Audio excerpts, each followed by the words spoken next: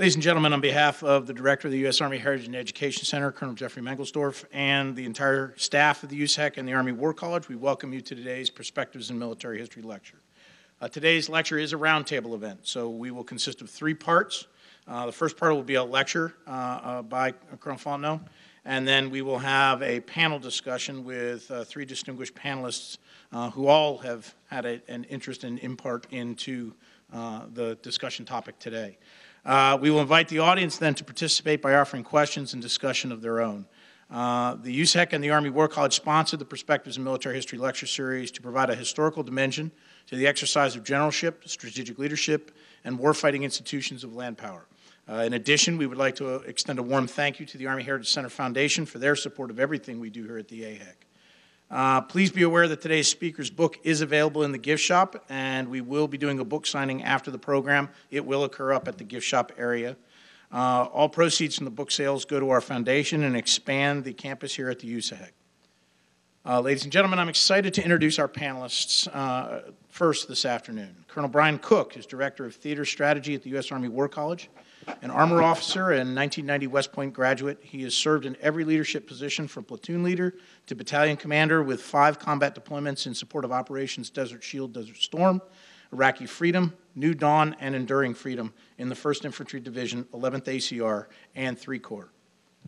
Our next panelist is William T. Johnsen, currently Professor of Military History and Strategy and the William L. Stimson Chair of Military Studies at the U.S. Army War College. A career infantry officer, Professor Johnsen graduated from the U.S. Military Academy and earned an MA and PhD in history from Duke University and graduated from the U.S. Army War College. He is the author of numerous journal articles, book chapters, and monographs. Professor Johnsen's most recent work is Origins of the Grand Alliance Anglo American Military Collaboration from the Panay Incident to Pearl Harbor. Our third panelist is Dr. Richard Lacquement Jr., Colonel retired U.S. Army and the first Dean School of Strategic Land Power at the U.S. Army War College. He's a political scientist with a doctorate in international relations. He specializes in security studies and has taught academic courses in international relations, American politics, international organizations, theory of war and strategy, strategy policy, and U.S. national security policy. Uh, during more than 29 years of active military service, he was an Army strategist and field artillery officer. His experience in peace and war include a broad mix of assignments at the tactical, operational, and strategic levels of the armed forces, as well as several assignments in professional military education. And finally, our speaker for this afternoon is Colonel Gregory, Gregory Fontenot. Colonel Fontenot is retired from the U.S. Army after 28 years of service as an armor officer with service in CONUS, Europe, the Balkans, and Southwest Asia. He also taught history at the US, United States Military Academy and served as director of the School of Advanced Military Studies. After retirement, he served as director, training and doctrine command's Wargaming Directorate, and later as part of the Army's Red Team Leader course for the University of Foreign Military Studies course. He left civil service in 2013 to pursue his interests in military history writing.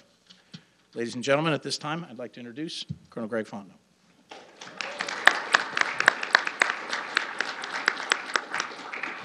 Thank you very much. I'm delighted to be here. I took the precaution of, of stacking the audience uh, since you never know how these things will go. Uh, in the front row, my old division commander, Lieutenant General Tom Rhame, U.S. Army retired. Sir, thanks for coming up. Captain Rick Orth, everybody had a nickname in the battalion. His was Dread Nerd. But when he got in a tank, the nerd effect wore off and he became uh, an Erwin Rommel kind of guy. Lieutenant Colonel Rabel here uh, reminded me we had uh, dinner together in Vyshkov, uh, Czechoslovakia, back in 1995, where I regaled him with stories of plow tanks and the like. And I'm sorry for having done that to you, and then surprisingly, you've come for some more. Jeff Mangelsdorf was my signal officer uh, 20 years ago when I was a commander of Battle Command Training Program. Jeff, thanks for coming. And the far back there is Dave Cohill, B 52 navigator of some note, and the uh, air ground control officer for my brigade in, in Bosnia. Henry Gole is an old friend. If you haven't read uh, Henry's book on DePuy or Henry's book on soldiering in the Cold War, I wish you would. Hal Nelson's another old friend, former uh, Center of Military History. Kathy Johnson's a very good old friend. She has uh, done her best with Bill. Um, that's all I'm going to say about Bill. Brian Cook is here. Um, I would urge you to read about Brian Cook. Seems like most of the time we were in the desert, he was concerned about his stomach. And when was he going to get his next meal, and was it going to be any good? Now, I got to tell you, that's an important consideration in combat because we were hungry all the time.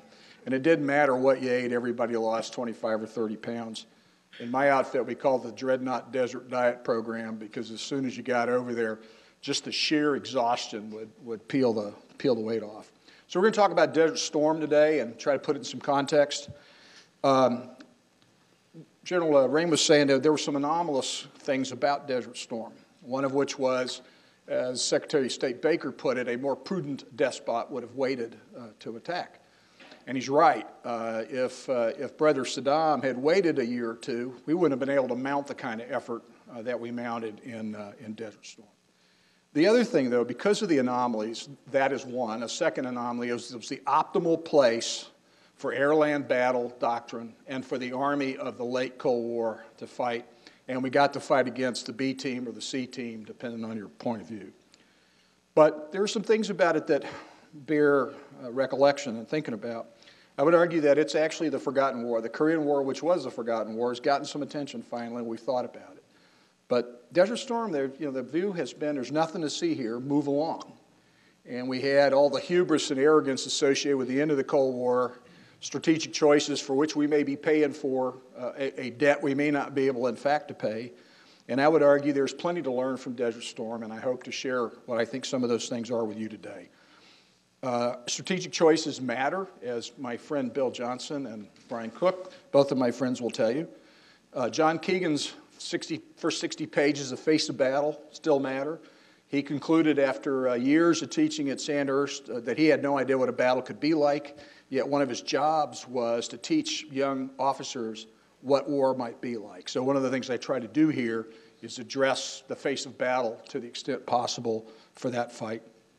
Last but not least, in, in general themes, is the U.S. Army uh, speak glibly these days about uh, expeditionary operations without thinking very seriously about what that means. And if you want to understand expeditionary operations, the first thing you should do is go on the internet and look up Civil Reserve Air Fleet. And then right after that, look up Ready Reserve Fleet or Fast Sea Lift and see what our capacity is. Because I will tell you, ladies and gentlemen, if it's not haze gray and underway, we don't care. We cannot operate expeditionary warfare without maritime power and significant uh, strategic theater lift, uh, strategic and theater lift. So now, without further ado, um, if I can figure out how to work this thing, I'm going to kind of go through some charts. Wait a minute, that's a pointer. Ah, so the army from 70 to 90. So if you, if you buy this book, you got to understand nobody gets shot at till chapter 6. And so if that, if that really alarms you, then you know, maybe it's not the book for you. Though I hasten to add, I think probably it is the book for you. Please buy 9 or 10 because, hey, I'm a starving artist and I can use the, uh, the, the proceeds. But what this first couple of chapters does is get you through the transition of the U.S. Army post-Vietnam with all that that meant up to 1990, and there are significant and fundamental changes. It is, for example, this month is um, uh, Women's History Month. The first two women assigned to the 1st Infantry Division were a young woman named PFC Connie Calvick, who was brought in to be a buddy to Second Lieutenant Eugenia Thornton. The very first two women came in 1973. Uh, there had been no preparation for them, so they showed up to their first field event. They didn't know how to put their canteen belt together or the load bearing equipment. They both had shoulder length hair with a helmet on top. And they were the object of considerable interest from the Secretary of Defense to the Premier of, uh, or the President uh, of Germany, all of whom went to meet them. But two years later, we had hundreds of women in the unit. And by 1990, when my unit crossed the line of departure with 1,010 soldiers, one of them was a female.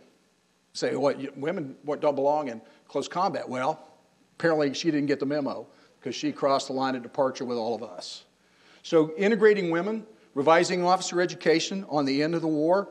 Uh, some of you may have heard of Lieutenant General uh, uh, Wally Ulmer, who was uh, the guy that briefed the RETO study, the problems that we had with leadership in Vietnam, and the education system was going to be altered to change that.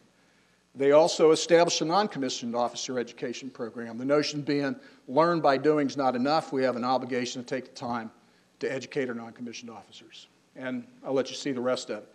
Now, one of the things I do want to say is General Westmoreland gets pretty much reviled by about every history you read.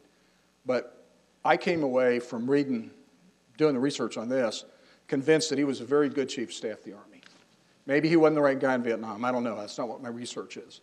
But he anticipated the volunteer army. So the first thing he did, we came home in June of 69, is by the middle of the summer of 69, he had organized a special assistant for the modern volunteer army. The volunteer army didn't become a national issue until November of that year when President Richard Nixon made that a campaign platform. So what you see is the Army, for once, got ahead of the curve. And they made decisions. They weren't social justice decisions, they were business decisions. If you're going to have a volunteer Army, what does that mean? That means you have to be able to recruit. You aren't going to get McNamara's 100,000 showing up at the door, and you really don't want those 100,000. You want 100,000 capable people. He could not afford, in his mind, not to have women serve. Interestingly enough, the chief objection to that came from the Women's Army Corps. And you say, well, why would they do that? Because they would lose the Corps. And change is always difficult, but in the end, uh, Mildred Bailey and a couple of other women who were involved in that took, took the right step and say the moral obligation here is to do what's right for the Army, and that, in, as a consequence of doing that, we'll have done what's right for women in the Army. So that's an important part of the story, and he did a lot of other things. We talk about DePuy, and I told you Henry Gole's written a great book about DePuy, but DePuy wouldn't have been C.G. TRADOC if it hadn't been for Westmoreland. Westmoreland had one fantastic trait is he chose good people around him, in my opinion. And when we do go to the modern volunteer army, it's different than being drafted. So when you were a draftee soldier, and some of us served in that army, you worked Saturday till 1 o'clock if you were a good boy, and if you weren't a good boy, you worked the rest of the weekend. But if you were a good boy, you got off. I remember the first time I got to do that, I got my khakis, got my black shoes on, and I took a ride in the shuttle to the PX and had a Coke. Boy, I was pretty excited. You know, I was really wow, I'm not in the barracks. But you know, when you do this with volunteer army, you aren't going to treat them like we were treated, you know, convicts, so to speak. They even tell you what time you had to be in bed. In fact, Rick's dad gave uh, Colonel Billy Murphy, uh, our brigade, one of our brigade commanders uh, just before Desert Storm, Billy got a, an Article 15 from Rick's dad for overstaying bed check or something. I forget what it was. But in those days, draftees did exactly what they were told when they were told. They did kitchen police. They did a lot of things that had nothing to do with soldiering. Modern Volunteer Army worked to change that, but it didn't change the pay. So if you read the book, you'll find that soldiers and their families were on WIC and food stamps uh, to make ends meet.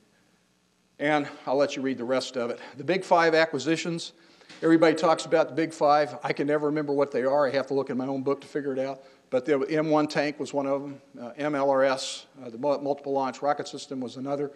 The Bradley was the third. Uh, Apache and Blackhawk.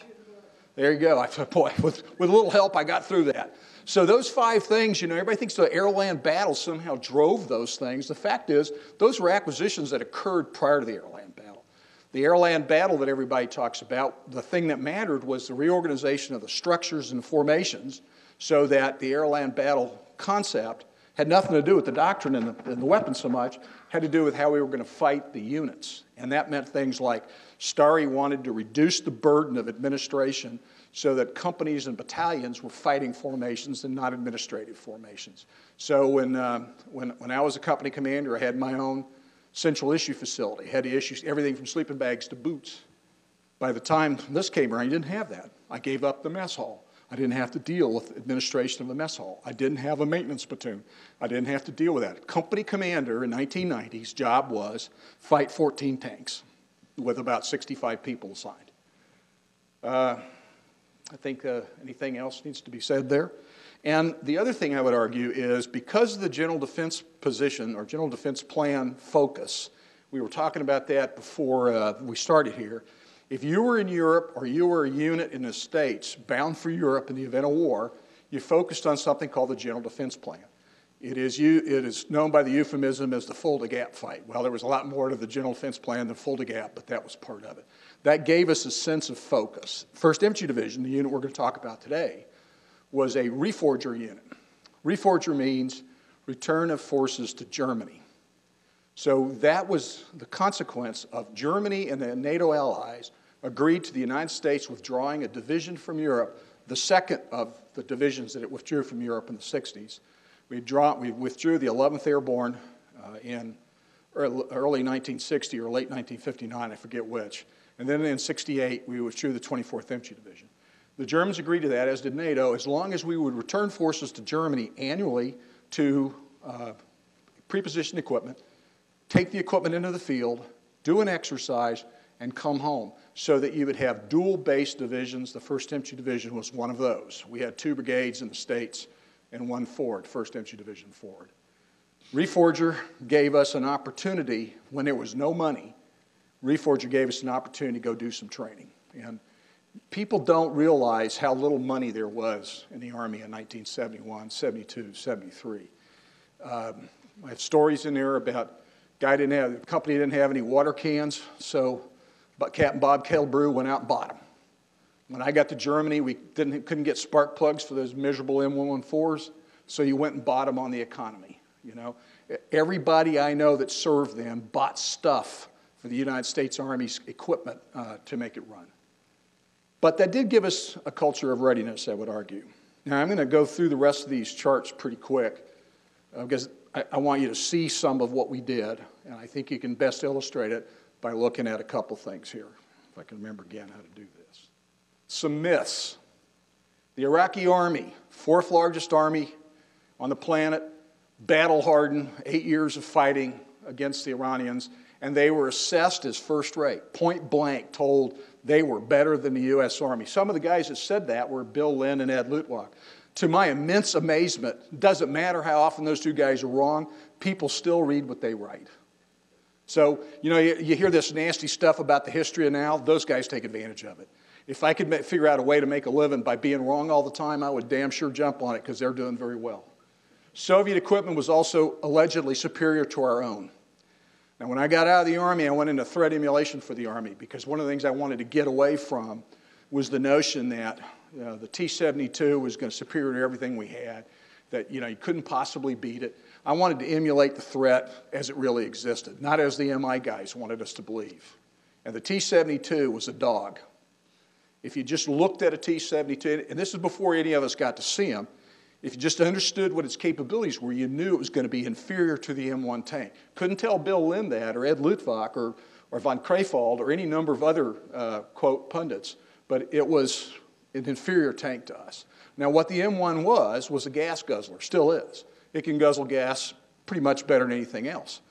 But you got to remember, if you're going to put a jet engine in a tank, and you're going to get a tank that's fully combat loaded, can go 60 miles an hour, you're probably going to use some fuel. And, you know, that's okay with me because when I'm in a tank in a fight, I don't care how much fuel we're using. And I don't think anybody else did. The Bradley fighting vehicle was, was said to be a death trap. There's a famous movie starring the guy that played Frasier, and it's called Pentagon Wars, written uh, through the good efforts of a lieutenant, a colonel in the Air Force named Burton.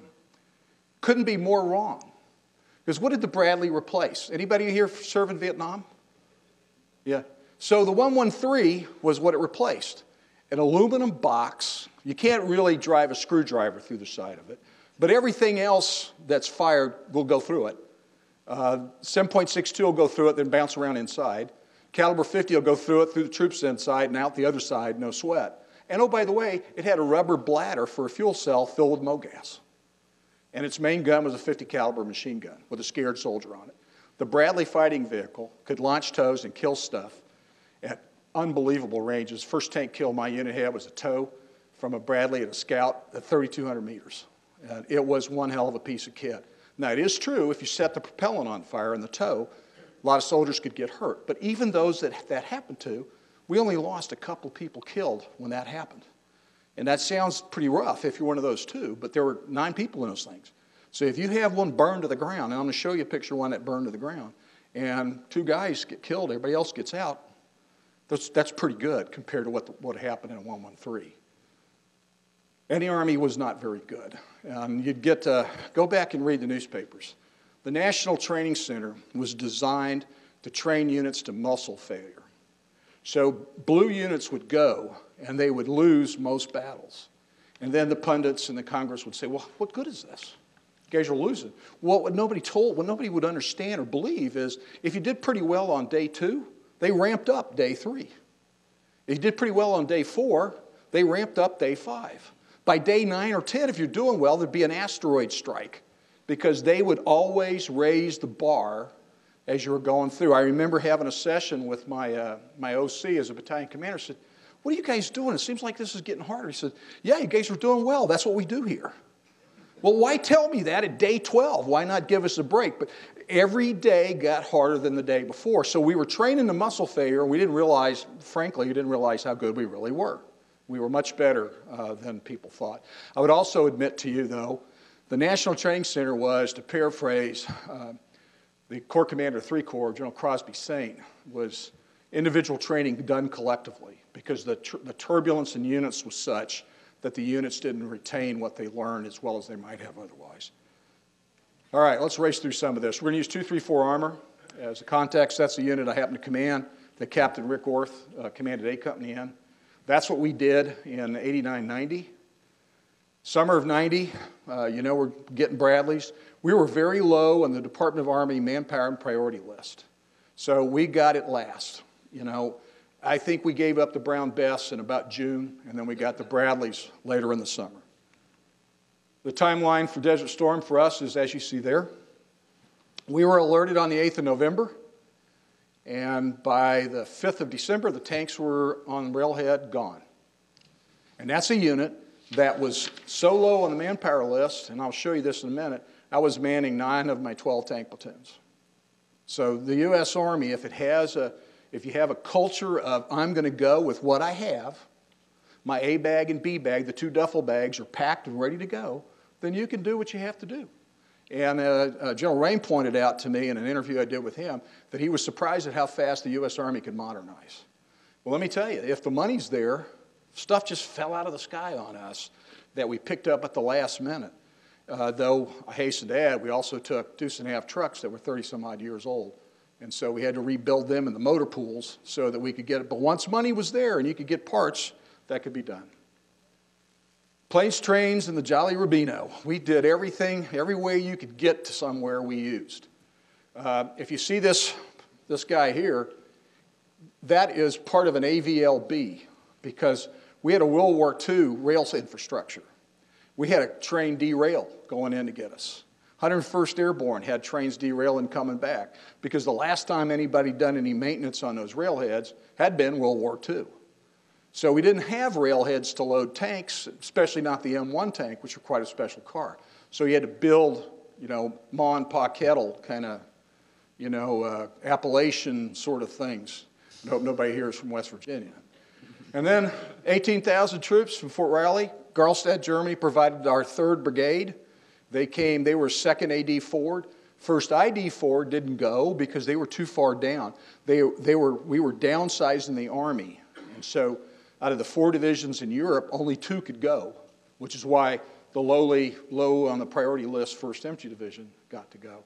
And we went in everything. The Jolly Rubino was a rusty Italian ro-ro ship, which with perfect uh, poetry ran aground and sank off the South African coast a few years ago.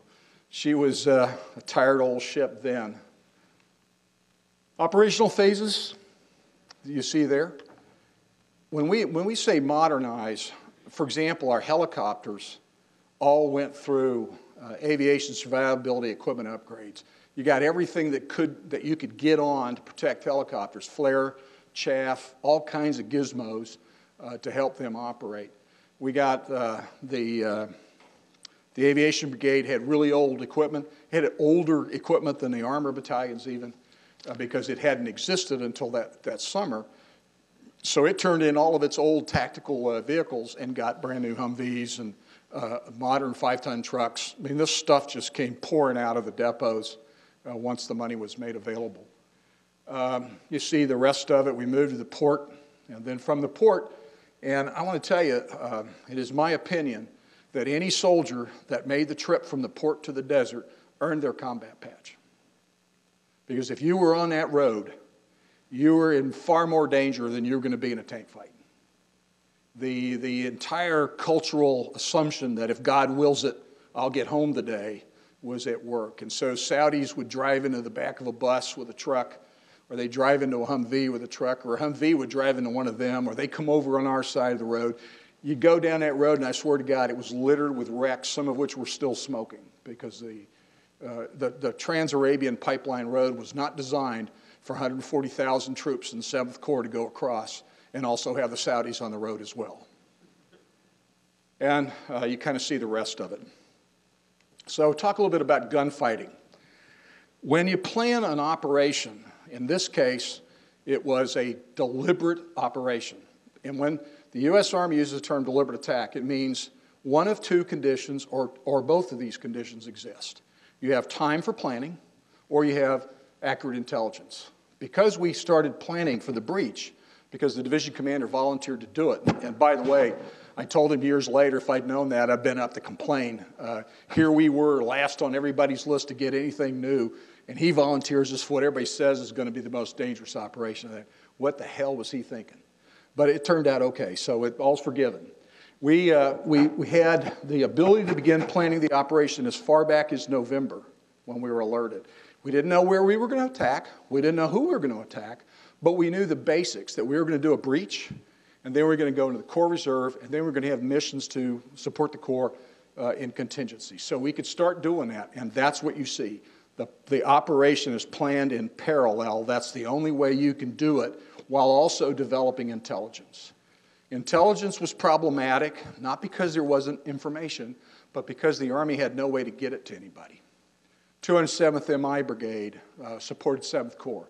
When they finally got imagery, it was delivered. Imagery was printed on paper because nobody had computers. I mean, I had one computer in my battalion, and it died of fright about the third or fourth day in the desert. It said, Oh my God, it's cold, it's sandy, I'm done. And so we did everything with pen and ink after that. So they print all these images for us, and then they came and they were issued in pallets. So there'd be a pallet load for the 1st Infantry Division, and that would be dropped off by, you know, along with 10 other pallets by a C 130 and King Khalid Military City. And then the Corps would say, here's the pallet for 1st Infantry Division. Somebody have to go down there with a truck, MHE, get it on the back of the truck, drive it two and a half hours from King Khalid Military City to where we were. And then they'd have to break it out, say, okay, 14 to this unit, 12 to this other unit. By the time it got to us, it was a day late and a dollar short. The best stuff we had actually came from the Brits uh, because they had remotely piloted, come on in, sir, if you'd like, uh, remotely piloted vehicles. And they took uh, cool pictures, and they shared them with us so we could do the final planning with overhead imagery.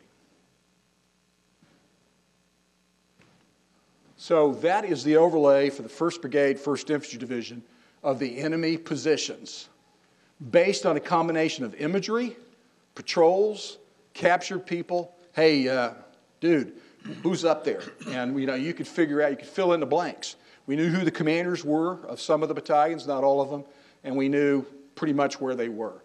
In this case, each of these um, little crinkly places is a platoon position. So the way you do this is you kind of look at what they, how they built their formations. From the Persian Gulf going west, the, the uh, Iraqis extended their line to the west as time went on. And there was a pattern to this. They would start by moving a couple of brigades out to the west, and then they would refuse the flank of a brigade. This is what's called a refused flank. He's facing west so that nobody can just go around into the back. So we knew that's how they did business. This was the position of the last time they'd refused the flank. So you start thinking, okay, if the flank is refused here, that's probably where the brigade boundary is. Then you count three platoons to a company, three companies to a battalion, and you could pretty much draw boundaries, which is what we did. And then we developed uh, eight, uh, 10 digit grid coordinates for them and advised our artillery friends where they were so they could shoot them. And by the way, they shared it with uh, Rick Lacquement's unit, and, and therefore we had uh, accurate uh, artillery grid coordinates. That's the actual graphics of the 110th Brigade commander. And if you overlay what he had with what we had, his comment was ours was more accurate than his. And it was true because we actually went out on the ground, and I don't think he did much. That's the other thing when you think about the opposition, you have to look at how they do, how they do business. And we'll talk about that in a minute. So the penetration attack. Uh, General Rhame decided he was going to do a form of maneuver called penetration, which is you narrow everything down to a reasonable width, about eight kilometers in our case, and you stack the deck. We had 14 battalions of artillery, six or seven batteries multiple launch rockets, and they were all itching to shoot at these guys. That's how it looked going through. The units that you see there that say UI are uh, tank companies, in one case, a tank platoon. That's a tank platoon, tank company, tank company. These were their immediate reserves, and then you see how we went in. And we did what the Germans called Aufroll, and once you get in, you roll out to the flanks uh, to take them in the flank. Um, I want to stop for just a second and say one of the things I was able to do with this book was I was able to read what the Iraqis thought. So if you buy the book, one of the things you're going to find is every section, once the fighting starts, starts with the Iraqis' perception of what was going on in ours. One of the things I want to tell you is we totally misread them, and they misread us even worse than we did them.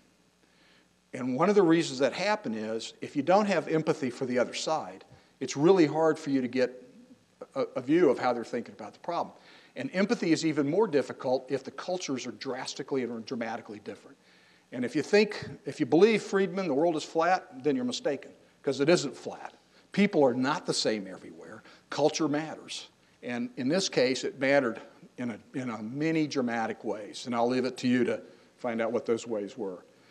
Uh, we also didn't want anybody to get lost on the way to the trenches. We found by practice that you could plow all the way to the Black Sea as long as you were in sandy desert. So that's what we did. These are guys in on one of the lanes and if you look up here, that's where the shooting is. So once you get in that lane, that is a lane that's going to go through the minefields, through the prepared positions, and oh, by the way, you aren't going to get lost as long as you stay in that. Then, just in case our British friends were too stupid to see the lane, we put big signs up because they're the guys going to pass through us. That happens to be Lane Charlie, one of mine. I had A, B, C, and D, and they were. We had 16 lanes. These are my. The first four were in my task force because mine was on the left flank. That started at 3,000 meters out, down to 2,000, 1,000, and then as it got closer, they had different kinds of uh, lane markers. And that's the expansion. And you see the cavalry came out on our left flank. Um, these are just pictures of what the battle looked like. I want to talk to you a little bit about the next thing. So, after, at the end of the day on the 25th, towards sunset, we got an order to pack our stuff up and move to an assembly area further north to get out of the way so the British could make the turn to the east. The British were going to go roll up the flank of the Iraqi 7th Corps, who happened to be the guys that we were fighting. So, our whole purpose of our penetration was to position the Brits to roll the flank up of the Iraqi army.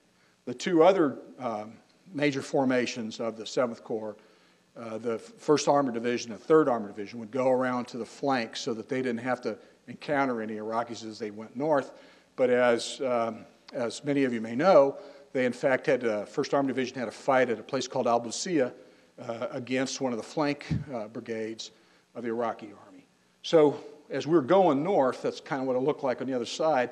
That picture on the right is from a painting I had a Marine Corps friend of mine do for me. Sat with him for two weeks to get the light right of what it looked that night. That kind of blue, uh, weird, uh, strange color. I mean, I, and what went through my mind that whole night, and when you're in, when you're in that kind of a fight, it was long night, shooting from 10:30 till 6 in the morning. Uh, I kept having this image of Salvador Dali's watches, you know, where they're, they're melting down the wall. And, and, my, and there was this little voice in my head going, You can't make this shit up. You can't make this shit up. This is so surreal, it can't be made up. Yet, at the same time, they had another little voice saying, Man, let's get out of here. Nobody will notice if you leave for a few minutes. But in fact, they couldn't because I was afraid somebody would notice I was leaving. So when we, end, uh, we do find ourselves attacking the Republican Guard Forces Command, as the Corps wheeled to the east, 1st Infantry Division is on the inside of the curve. 1st Armored Division UK Army has already gone along the lines of the uh, frontline troops. The 3rd Armored Division, 1st Armored Division, they're on the outside of the line, and so there's a little bit of a staggered effect. The idea was to have all three divisions hit them at the same time, but it, it really did not happen that way. And so what I've done here is I tried to show you where, the, uh, where their boundaries were, and these that are going east-west are ours. They had positioned in the right place.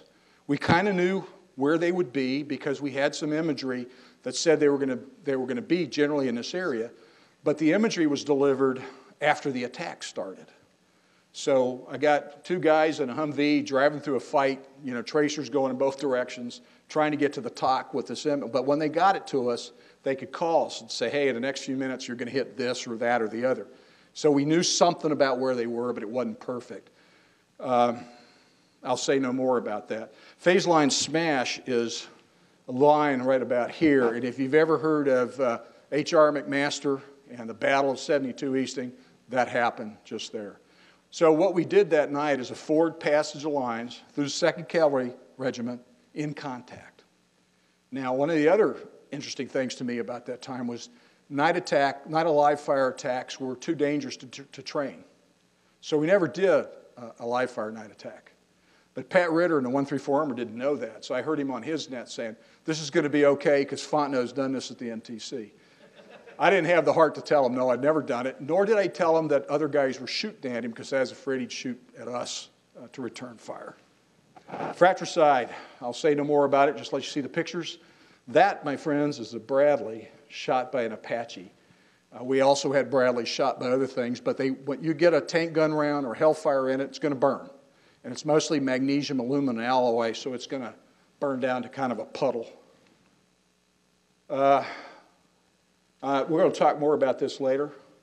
Some immediate post war myths. This was not the first information war. It was probably the last grease pencil acetate war.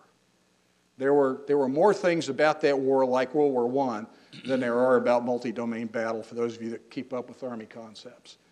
Here's some other myths low casualties 152 or 142 in four days. No, we didn't, we didn't lose that many in four days ever in Iraq. Then when you add the Allied casualties, it's around 2,000. Then you throw in the Iraqi casualties. Low casualties to whom? It would be the question I would ask you. Future wars are going to be short and decisive. Nah, I don't think so. Uh, how's it turning out for us in Iraq and Afghanistan? Neither short nor decisive. And the U.S. is the unchallenged hegemon, not so much. Why does Desert Storm matter? These are assertions. I can't prove these to you. These are things I believe. Um, technology is an enabler, it's not the answer.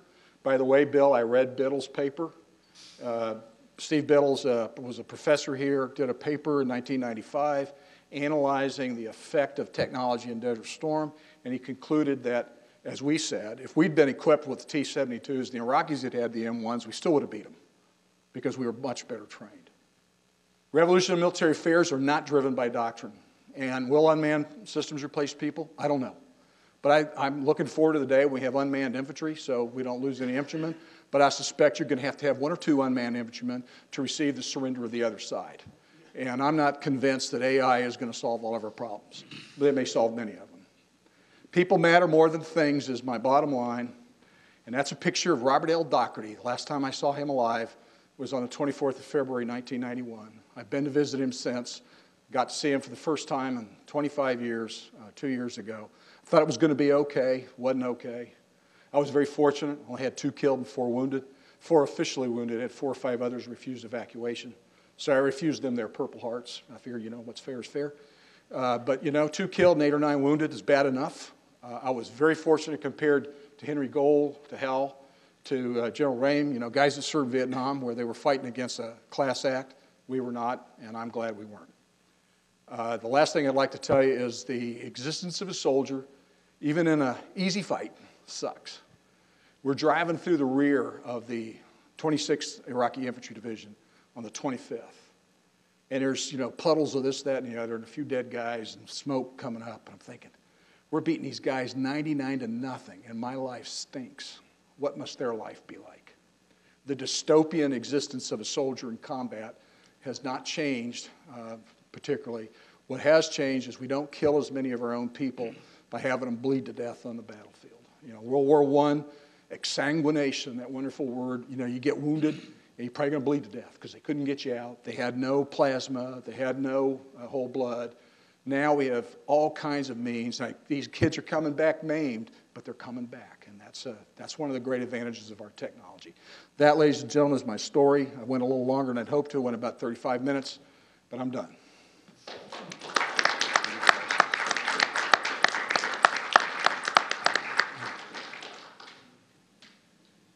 So we're going to leap right off into me. Um, so I wanted to start out by saying how honor, honored and humble I am just to be here among heroes. I mean, I think there's a lot of them sitting in the room up at the desk with me, in the panel a lot. You probably, with the introduction, ascertained I'm probably the least scholarly or academic guy at the table, though I am the director of theater strategy. um, and that's uh, not lost on me. Uh, I want to leave as much room as I can for, for Bill and Richard, probably some more questions from you for Greg. But I bring, I think, a unique perspective here um, that I've developed over the couple of years that I've been in, in, in the Army. Uh, primarily, I was at the tactical level. Um, I'll tell you the timeline here in a little bit. Uh, but I was focused on gaining and maintaining success at the platoon level, the company level. I knew a little bit about what the great Colonel Marlin was trying to do in 437 Armor. Um, and quite frankly, I knew I was lucky. So I had trained for four years at West Point, graduated on 31st of May 1990. And the, the word at West Point was our Army was becoming this incredible machine. And, and then I decided to go armor something was pretty crazy back then. No, wall had fallen. No one's going to go armor. We're going to light. The Mutual word was coming about. And I got to be a tank platoon leader in an M1A1 tank platoon. Well, actually, for the war, I was M1s. But that was the best tank in the world, bar none. Matter of fact, it still is. We have that argument later. But I knew I was lucky to be in that army. I was lucky to be in that tank platoon and lucky enough to lead those guys. And uh, I just I didn't want to squander the fruits of the transformation that I'd heard about. It was, it was really a humble place to be.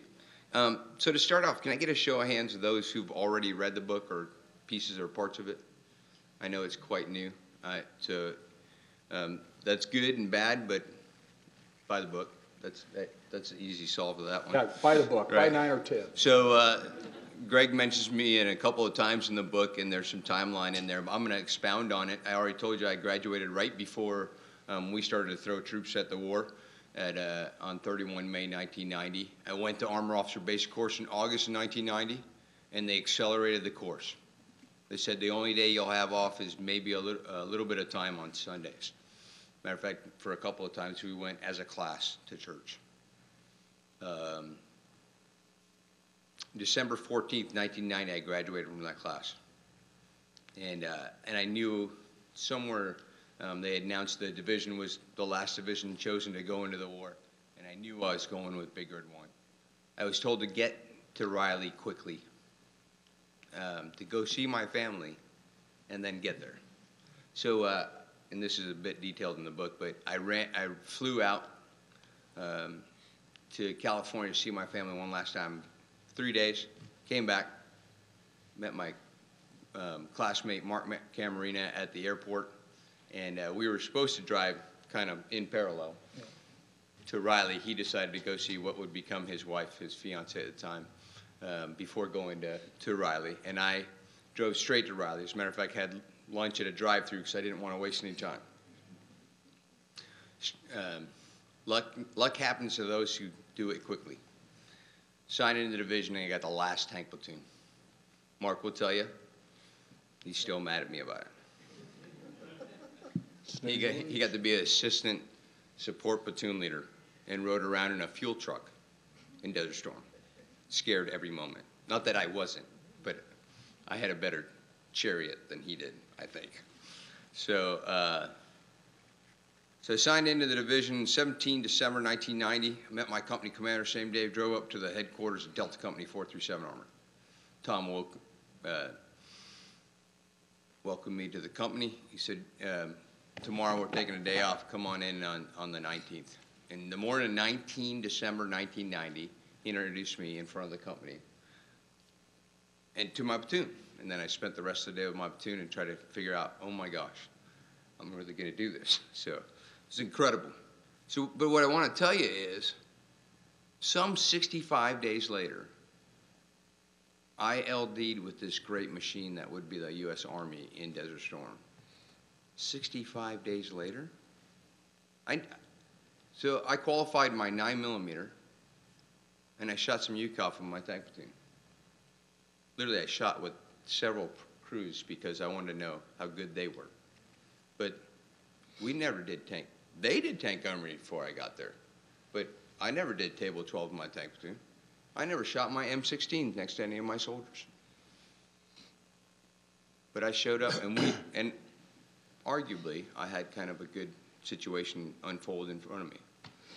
The reason I point this out is to highlight and show that that great machine that guys like DePuy and Abrams and Starry efforted at, and General Ray, you're in this group too. Well, I mean, what foresight that you would create platoons, companies, battalions, brigades, that you knew if a guy could show up and have 60 days under his belt, that he could be successful, wildly successful at ground combat. Because you trained the rest of everybody else to be a team. And quite frankly, my platoon didn't need me. To the point where when I first showed up in the desert, my platoon sergeant said, lean back, LT. I'll get them to the Alpha Alpha. Then you get the right op orders.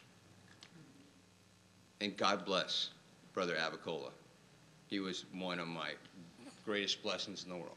So, so the Army as an institution set me up for success. The great leaders envisioned that type of units. Um, one more adequately trained platoon leader could show up 65 days prior to battle and, dare I say, reach impressive success. One thing that doesn't make the book was that uh, my tank platoon, because we kept four tanks running the whole entire time, was selected to be the coordination platoon and my tank the coordination point for the Iraqi generals to come, come meet Schwarzkopf at the airfield. General Schwarzkopf drove up right behind my tank with the six foot two guys that the brigade had selected to be his drivers and his escorts to make us look 10 feet tall instead of the Iraqis that day. And I was just lucky to be there. How does that happen? I mean, how? I, and so, while I, I love how Greg eloquently weaves the division into the transformation story that is the book, the story is the transformation. That, and, and I don't think any nation in the world can do this, bar none. I, I don't, I don't think anybody, I mean, you might have some Germans that want to argue about it. I'm sure they would. So the next question is, who are the DePuys, the Abrams, the Starries of today? Who gets to take the challenges of the failures of OIF and OEF? And instead of going, oh, woe is us, you know, it, it, Iraq and Afghanistan are at least as bad as what we were going through in Vietnam.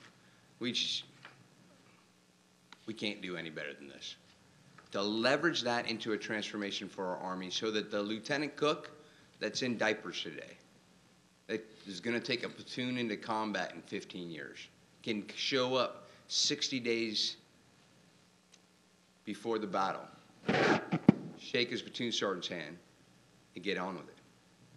That's the big question, I think. And I, it's just amazing as you read the book. I hope you pull that out of it. Um, just amazing to be part of all that. Um, the other part that I think is really important here that uh, I can't squander either is this is my first glimpse at how wars ended. You know, you get to do a whole lot of reading when you're growing up at West Point and stuff, but you don't pay attention much, until you get shot at, and that becomes your profession. And now your profession is to understand why things happen.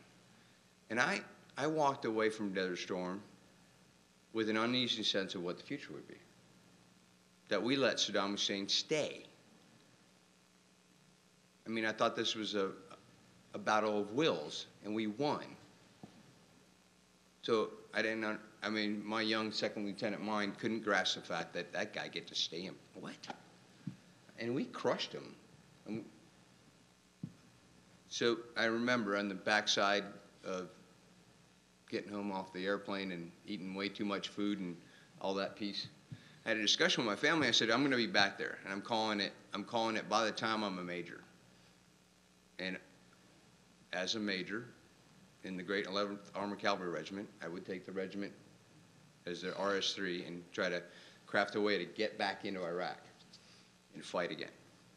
And it, we were late to the flight fight, as most of you guys know. We, we don't traditionally take the opposition forces of our National Training Center and put them into battle on the first day of a battle. So that was one of the other pieces. Um, I think there's a really bad lesson, um, and sometimes you, you learn really bad lessons when you win big. America learned a really bad lesson here. And they criticized the Powell Doctrine because we had way too many forces than we needed, right? I mean, we did in four days. I mean, you could argue the cost benefit analysis here that um, if we wouldn't have had that many, we couldn't have gone so fast and done so much. Okay. And I, I would echo that. But in the years to follow, in OIF and OEF, and dare I say today, when we get asked, let's craft some military options for X country, our politicians believe that the Department of Defense always brings the used car salesman argument that we need much more than we actually need to, to create success. And so they're always brokering us away from that large number, something that General Shinseki argued a couple of times in Congress. And I think that's, well, I, I don't know how to get in and around that. Um, but it's something as a as a as we turn this one more dial and we leverage what we're doing currently to some successful version of our Department of Defense that we can really save ourselves if we could have that honest uh, discussion with our political leaders. So again, so I, I'll, I'll end kind of where we started.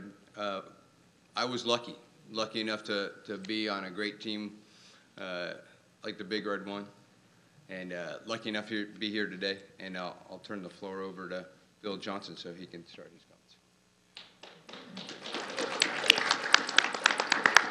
Duty first. Um, Like Brian, I'd like to start by thanking the AHEC personnel for, one, holding this roundtable discussion. Thank all of you for coming, and particularly I would like to thank our distinguished author for inviting me to be part of the panel. Uh, Audiences deserve to understand the bias that panelists bring, so I'll be upfront with mine. Uh, Colonel Fontenot and I are near contemporaries, though he is much older than I am. Um, we first met at graduate school, in 1979. Uh, he attended a seminar in military history at Duke University while he was attending that other lesser known school down a little further down Tobacco Road. Heels. Uh, we'll, I think we'll find that out shortly. um, after departing graduate school, we both served in the Department of History together, and we have been friends, colleagues ever since. Uh, now, having said all that, I have to emphasize that that friendship does not stop us from brutal and candid argument and critique. As late as last night. As our fellow diners at Piatto's last night will no doubt attest, uh, that, that tends to be our primary debating point, uh, which I might add, uh, Kathy gets to join in on, occasionally wondering what we're doing. I think it's also important to point out, in terms of a bias, I'm the odd man out on this panel. I am not a Desert Shield, Desert Storm veteran. Uh, I was at SHAPE headquarters at the time, working on the Conventional Armed Forces in Europe Treaty, so while I was a highly interested observer, I don't have much to offer. I have nothing to offer in terms of the combat portions of this book. However, I think as Greg's near contemporary, uh, I have some valid perspectives to offer on the first element of the book. And so, if, if you haven't bought it, and I do encourage you to, it's a great book. This title and this cover immediately draws you to the combat elements of Desert Storm and the feats of the Big Red One, and, I, and rightly so. But what I would really hope is that you do not skip over or skim over the first 65 pages that talks about the transformation of the Army that occurred. Greg intentionally begins the book with that story because I agree with him. I don't think you can understand the success of Desert Shield, Desert Storm if you don't understand how the Army changed in that 20 year time period. Um, in fact, without those transformations, I think there could have been a remarkably different set of outcomes from what happened in the first Gulf War. Uh, it's going to be hard to tell, but Greg and I did not coordinate our remarks beforehand, but he rightfully, as the author, stole much of my thunder, what I was going to talk about. Uh, but one of the things I would argue, and, and many people in this room lived through this period. For those of you that did not live through the 1970s, 80s, and 90s, I think Greg gets it almost exactly right. Uh, it was a tremendous transformation. Now, many people in this room who've lived through the transformation of the drawdown of the Army after Desert Shield, Desert Storm, the Balkans, more importantly, the transformations of the Army that have taken place during the long wars of the last 15 years, uh, you understand what transformation is. Part of the argument I will make, which I don't think comes out in the book as much, was that the recent transformations began with a highly trained, very skilled, tremendously professional, and well led force. Uh, can't always say that that was the case in the 1970s and 1980s. The Army that many of us faced at that time, uh, drugs, race relations, endless turnover. I'm sure that many in this room carried armed, we were armed when we were staff duty officers. Uh, there was a reason why we were armed. Uh, a lieutenant in my battalion, in my brigade, was almost choked to death uh, one night on duty. Uh, these were not particularly good times. And uh, interestingly enough, there were, it wasn't all gloom and doom. My first company commander was on his fourth company command. Two of those had been in combat. He knew how to be a company commander. He knew how to lead troops in Vietnam. I had just come out of the basic course where we had been beaten to death with the lessons of the Arab Israeli 1973 war. And it was an entirely different army that we were going to try and produce. I think that the lessons that Greg draws out from that period may have some benefit for those who are going to look at what sort of transition is going to occur in the next 15 years. How do we take the lessons that we've learned from the last 15 years of the long wars and do we get to apply them or do we have to learn new lessons, which I think this book does a tremendous job of describing.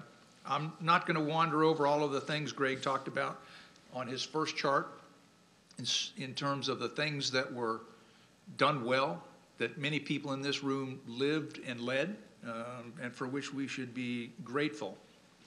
Um, top of that, I think I'll just quickly wrap up. Uh, first of all, in reading the first two chapters, um, I thoroughly enjoyed reliving my childhood. uh, thank you. Um, it's long been said that success has many fathers, failure has is an orphan. Um, I would second Greg's point about William Westmoreland. Uh, I have not always been a historical fan of General Westmoreland, uh, but I do think Greg's right in this question. Um, and he's provided a necessary corrective to a rather uh, one dimensional, unflattering portrait. I think he gives credit where it's due for Army senior leaders. Uh, I do have to admit, I was a little surprised that Max Thurman did not make it into the book as part of the transformation. But these are all minor, minor, minor issues. Um, so if I were to offer a critique, and it's a very mild one, uh, I don't think Greg went into as much detail on the transformation, or some elements of that transformation, at least as I would have liked. However, he does cover them, cover them quickly, briskly, and if you have a desire to learn more about the events that he describes very quickly, uh, I would offer Beth Bailey's American Army, James Kitfield's Prodigal Soldiers, and Dan, then Major Dan, Dan Bolger's Dragons at War. They will give you three very different perspectives of how those transformations took place. Um, I think Dean Lacquement's going to cover some of this uh, a little bit later, but uh, just given my bent, uh, I would have liked to seen a little more formal insights, lessons learned. While history does not provide lessons learned, I do think history can give us insights to guide the present and the future. And so again, in no way should this detract from the overall quality of the book. I second it. Uh, Even if you don't buy nine, two or three would be worthwhile.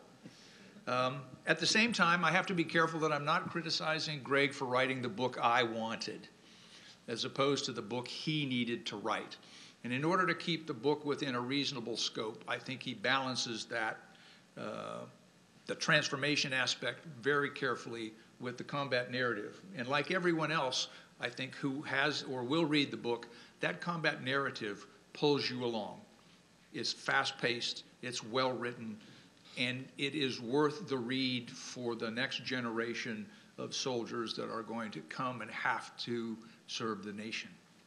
So, with that, again, I'd like to thank EHEC for sponsoring this and for all of you for coming out on this brisk March day. Thank you.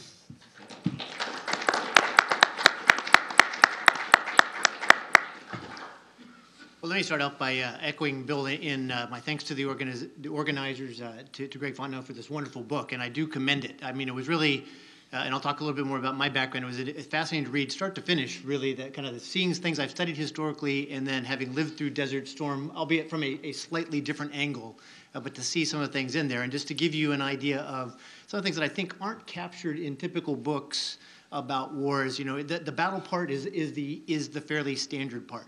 Uh, but the part that I found myself very impressed with is sort of the recapturing some of the elements of what it takes to get a unit prepared for battle and get it into battle, to include uh, the things that went on in this particular event, getting our equipment on ships, moving them, going through the port, having to deal with the assembly, and things that I think that are kind of, you know, lost as the unsexy part of it that really are at the crux of what it takes to make an organization this size, this complexity, be prepared to get into the position where it can execute the battles. Everybody might focus on those 100 hours, but it was 15 years from Vietnam in many regards to get ready, but it was also, you know, years of preparation by the individuals and then months and weeks of other events that fell into place not because they, I mean, not easily. This is an incredibly complex event, and he lays that out very nicely. What I'd like to do is uh, go back to his part about uh, the you know Desert Storm is kind of a forgotten war, and, and frankly, here at the War College, uh, we have made it unforgotten as much as we can. We stuck it fairly prominently into the curriculum, and I'll spend a little bit of time on that towards the end as to how we use Desert Storm. But I'll also put down sort of a marker to say, as with any particular war, there are things you learn, and you should also be mindful of what you don't learn from that one, and be mindful that there may be other things you have to pay attention to. And in that regard, uh, I'll come back to at the end a, a broader theme. We've we mentioned how a lot of this was framed, uh, as Bill just said, with respect to how the Army recovered from Vietnam. You've heard about General DePuy. You heard about General Westmoreland as Chief of Staff, things he did to help instigate some of the improvements that led to Desert Storm. Uh, but I have to admit that when I get to the end and I get to some of the things Brian mentioned in terms of what we saw in the last 15 years of war, Desert Shield and Desert Storm, there's kind of a missing piece to my mind of we sort of skipped over what should we have learned from Vietnam so that when we ended up in very similar circumstances, i.e. counterinsurgencies and complex stability operations. Why weren't we as familiar with what we had done in Vietnam when we got to that point? And again, that's not a that's not a hit on Desert Storm, but I'm mindful that it's a we've got a big organization with a lot of pieces of our professional portfolio. We should be mindful of what we learned from Desert Storm and some of the things we didn't, and things we might have to think about, and we do think about now. Uh, just a, a, a brief brief uh, on my background. I was in one of the other first divisions in the Seventh Corps, so a corps of five divisions, four were firsts. Nobody wants to be anything but first. There's the first cavalry division, the first infantry division. I was in the first armored division, and of course, to compound all that, there was another first armored division from the United Kingdom in the corps. So we, and then we had a third armored division and a second ACR. But otherwise, you know, everybody wanted to be first. Uh, but I was in the first armored division that was on the left flank, and I was an artilleryman at the time. It mentioned in my bio that I was artillery and strategist. This is the time I was six years in as a captain in the first armored division artillery. My first tour had been in the 82nd Airborne Division. So going back to the expeditionary part, I was, it was interesting to watch the 1st Armored Division become expeditionary uh, when it had not thought that way when I first got there uh, before the wall came down. But there is that idea of the different parts of the Army that are there. The First Armored Division uh, was was very active. A little more of the deliberate attack plan that we were able to execute. Probably more able to follow the the plan. I mean, we had to make modifications, but to follow what we were able to do there, and and had a fairly significant artillery duel with uh, with the Iraqis. They were very bad. Uh, we were very good.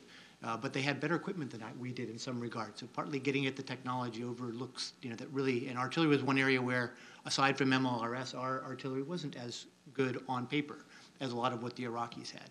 But our system was much, much better. We could target, they could not. When they fired at us, they usually died. If we fired at them, they couldn't get back at us very easily. So it was a, a much different experience there, but I'll leave that off to the side. I'm going to focus now kind of from my stamp uh, perspective as a strategist, because that's what happened uh, um, after Desert Shield Storm. I did go off to graduate school, ended up at, at uh, West Point myself, but in the one of the other departments, the Department of Social Sciences there in the mid 90s. And so what I found myself doing is looking back on Desert Storm and looking at what was going on in the mid 90s as we were going through the drawdown in the wake of the Cold War, trying to determine how we should transform. And part of the analysis was, you know, the claims that we should do a revolution in military affairs. In reality, what most of the Army was doing was what we now call stability operations. Back then, we had them very awkwardly and inappropriately labeled as military operations other than war. Uh, because frankly, these were the sorts of things that actually happen when you need coercive force, violence, and you just haven't gotten to war you're trying to prevent it in many cases. So I think how we tied that in professionally is part of the story. But if I may, it's just sort of, you know, what we saw in, in Desert Storm was really militarily, uh, tactically, operationally, and strategically, so outstanding performance by the military. But when we look uh, tactically, we should be mindful, I said, as I said, about what missions we really didn't do. But let's start by acknowledging what happened in Desert Storm is we had a defense and deterrence. And my original division, the 82nd Airborne Division, which doesn't get a lot of credit uh, in this war because they didn't have to do much fighting when they went out way to the west to screen. But they were part of that deterrence model. They got to the desert first and were how much of a speed bump they would have been to Iraqi forces they went south isn't clear, but most assumed they would be just some version of a speed bump. But that was a particularly important role to be able to play quickly to get there. We had the attack that we've talked about, movement to contact, exploitation and pursuit, being some of the titles people put on it. And when I returned back to Germany, and my unit, and, and going back to the point of what happened, uh, if Saddam had waited a year, my unit wouldn't have existed to deploy. Uh, when we returned to U- Germany, the 1st Armored Division deactivated. The flag went north to the old 8th Infantry Division in Baumholder. Some of us stayed. I moved to the 3rd Infantry Division.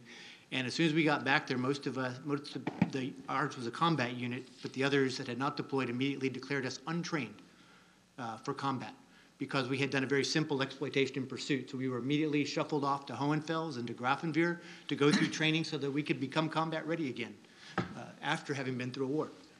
So there were some of these tensions in terms of what had we really done there, and even at uh, right afterwards we had a bit of that. And we started looking towards Bosnia. Uh, the Soviet Union did exist during Desert Storm. By December 1991, the Soviet Union did not exist, but Germany had already reunified in 1990, and in Europe, without a lot of the parades and welcome home, a lot of it just turned back to what's the business now of who those who stay, and it was Bosnia, and looking at what does it mean to go in there. Our unit did not at that time, but the 1st Armored Division in a later manifestation was the first to go in. And I would submit that you keep peace pretty well when the thing you show up with is an armored division.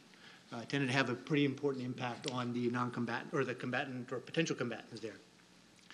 But operationally, uh, there were also insights that we were very good at the service level. When it came to combined arms operation, the Army, the Marine Corps, the Navy, and the Air Force, I think, did very well in their lanes. And, and if you look at a lot of the coordination, command, and control for this operation, there's a lot of drawing lines to make sure we didn't have to coordinate that much. We still did, you know, a fair amount, but a lot of it was fire support coordination lines or measures to separate where the Air Force was going to be from the Army. The Marines and the Army were stuck in different places. We separated them from the Arab armed forces. And so there was a lot of coordination measures which really weren't joint, but they were more sort of division of labor and coordination. And so there's a lot, when we say this is you know, five years after Goldwater Nichols, that we come together jointly, there's a lot of things that said we weren't quite there yet. Even the idea of General Schwarzkopf as the ground component commander, trying to be that, that senior guy who, or the, the lowest rank guy who pulls together the Marines, the, the Arab, or the, the armies, and, and so that sort of coordination wasn't particularly impressive, certainly compared to where we've gotten to now. But nonetheless, it worked. Uh, but part of it was had to do with an enemy that didn't challenge a lot of those coordination measures that probably weren't as strong as they could have been. Uh, and lastly, sort of strategically, very impressive militarily how we were able to deploy from strategic distances, from the United States, from Germany, places we're able to get there for all the problems we had with logistics and some of the other things. Really, an incredible feat to actually get those forces to the desert and make them available for that that uh, that event. Now, in terms of the outcome, we know it was, uh, you know, we defended Saudi Arabia effectively, an important task early on, you know, where I mentioned the 82nd and others. We liberated Kuwait. But when it came to regional stability, we're, it's questionable how much we had actually accomplished. And part of the evidence was that we had to stick around and participate in kind of a containment regime, Northern Watch, Southern Watch, keeping forces in Kuwait because of the sort of strategic ambiguity of that. Not that it was incorrect, but just, you know, in terms of where were we in accomplishing regional stability. Obviously, we still saw Iraq as a threat. And the big question of sort of where did we stand with the New World Order that President Bush had talked about, did we establish that? And that leads me to the last point I'll make just very briefly in terms of what we have done with Desert Storm. We kind of look back as we were looking a few years ago for a way to sort of pull the main threads of the curriculum together so that we could sort of uh, sort of show what right looks like for our students in terms of thinking about war at the strategic level, right at the beginning of the curriculum. We looked around at different cases and settled on the Persian Gulf War, the 1990-91 Persian Gulf War, as the best case uh, for what we were looking to do, at least for the time being partly because it allowed us to get the major themes of our curriculum. Certainly, issues about the nature and character of war, how that might be changing when you look at things like the Revolution of Military Affairs, information war, whatever the, the characterizations you hear. Uh, looking at national security policy and strategy in terms of the instruments of national power, diplomacy, uh, information, military, economics, how that played out. A sense of wars and where the military fits in at different levels. There was a global context, the Cold War, which was coming to the end, but it was still an important calculation for our leaders into how do we deal with the Soviet Union and what, and what is happening in Europe. While nonetheless, now there's other issues emerging in the world in terms of where do we come down on issues in the Middle East or regionally. And that context of the Cold War sort of sets up an interesting dynamic in terms of different levels. Uh, the global war with a, or context with a regional context in terms of peace in the Middle East. And don't forget Israel's aspect and how it affects operations, as well as dealing with the specific Iraqi threat and the Iranians next door. And then just the bilateral, or sort of the one-on-one, how do you deal with a particular adversary, particular uh, combatant.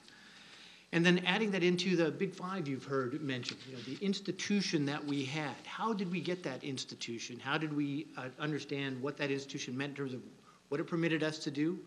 What its deficiencies were? It wasn't perfect. GPS was relatively new. The lack of compass on tanks, a lot of things where we assumed we're fighting in Germany with a fairly clear foe on train we understood and wearing green, and you know, and yet what happens when you throw us into a desert? I was in Seventh Corps. Most of us attacked still wearing green uniforms. We repainted the vehicles, uh, but we, we did get our chocolate chip uniforms for the redeployment home. Uh, looking at all, the, I mentioned the, the sort of theater strategy and campaigning aspects, how we connected uh, theater level and uh, operational commands, jointness, combined arms operations, or combined operations with our allies and partners. And then, uh, the, and of course, strategic leadership throughout all this. How did the leaders perform? And we use Schwarzkopf and Powell in particular to take a look at how they thought through the different things going on.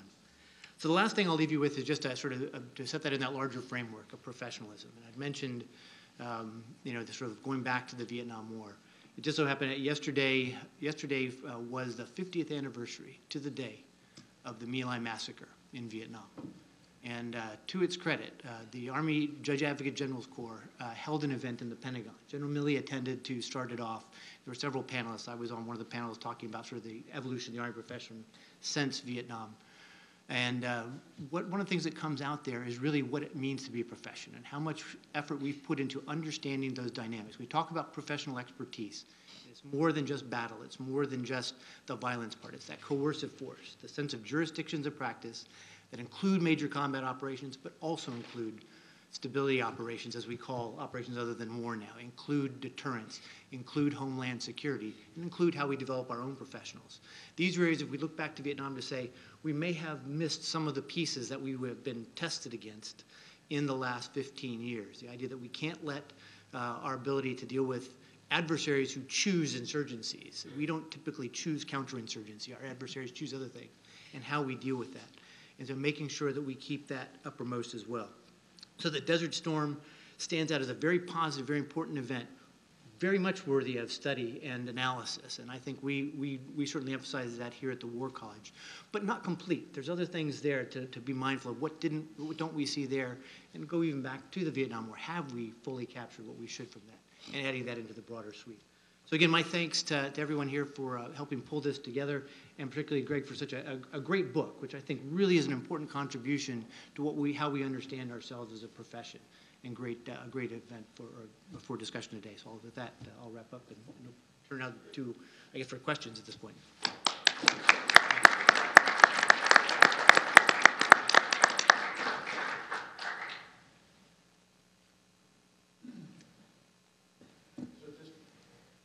This point, we will take questions from the room. I do ask you wait until we come over with the microphone uh, because we are recording the lecture. So, uh, any questions for any of our panelists at this point?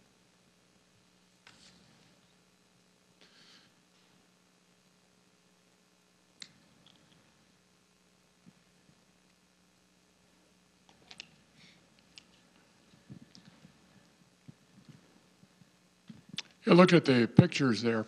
How do the tankers know who to shoot at? I mean, it seems like uh, it's pretty hard to find the targets.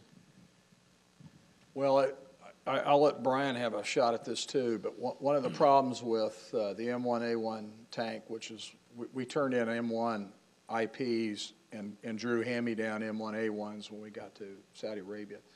The thermal imaging capability on the M1A1 tank was inferior to the integrated sight unit on the Bradley fighting vehicle and the M60A3 tank as well.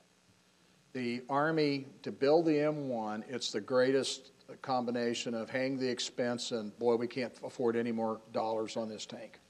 So we had a completely inadequate uh, thermal system.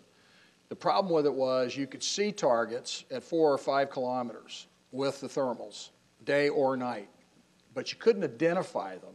And when you go, there's a, there's a taxonomy of, of identification. I, I acquire a target, then I classify it, it's a tank, it's a, it's a wheel.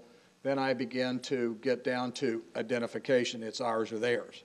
So if, if you're shooting at anything beyond about 1,500 meters, you really don't know what you're shooting at. Now, in, in, in the States, we went through a thing called the TIS Festival every night, Thermal Imaging System Festival, because Three Corps Commander, a man named Tom Graves, made us introduce friendly targets into the target array. And he also made us shoot beyond the parameters of the U.S. Army's tank gunnery manual. Tank gunnery manual says never shoot left or right of your fender, you know, which is less than 10 degrees. But in combat, you're liable to have to shoot off the side of the deck. So Graves did all that for us. In Germany, they couldn't do that because their range fans, you know, imagine Grafenwehr, Hohenfels, very narrow, so they always shoot, shot at stuff out right over the front of the tank. And the second thing is they always shot at only enemy tanks. No, no, no friendlies appeared in their targets.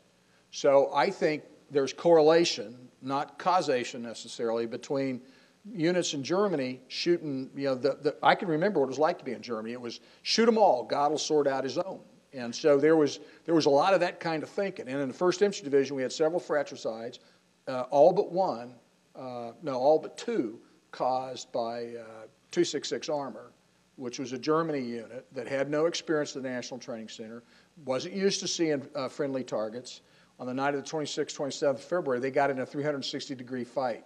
Because, contrary to what some people say, the Iraqis fought back. Uh, they would let you pass by, then they'd shoot RPGs at you. And, you know, we had guys repelling boarders.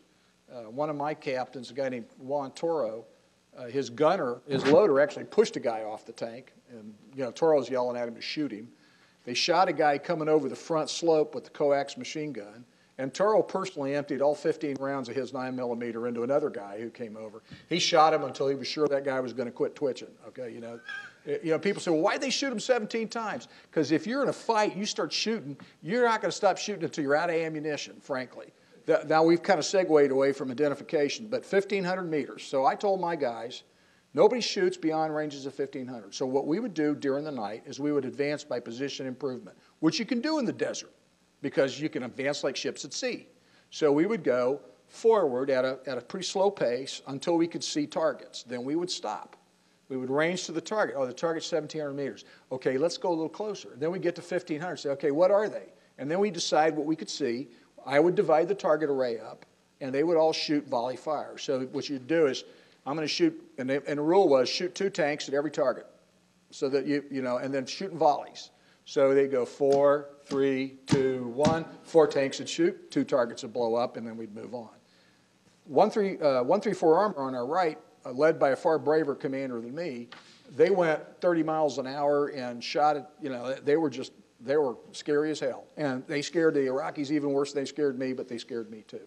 Because it's really hard to see and identify when you're on the move and people are shooting at you. Uh, and I think anybody that's been in combat, one of the things, I, I'm one of the smartest guys I know because I only needed four days or 10 days of shooting. And the first time somebody shot at me, I learned everything I needed to know. After that, it was all postdoctoral training. So that's a long answer to a short question. What do you want to add, Brian? Um, so I'll start off with, so there's a gunnery skills test that like every soldier that ever gets in a tank does. TCGST is what it's called. Um, and part of that is deck a card, friendly, enemy. And they show you, here's what it looks like in the daylight. Here's what it looks like in the thermals. Here's what it looks like at 1,000, 2,000. And we went, same type of, how far can you push this thing? 3,000, you know?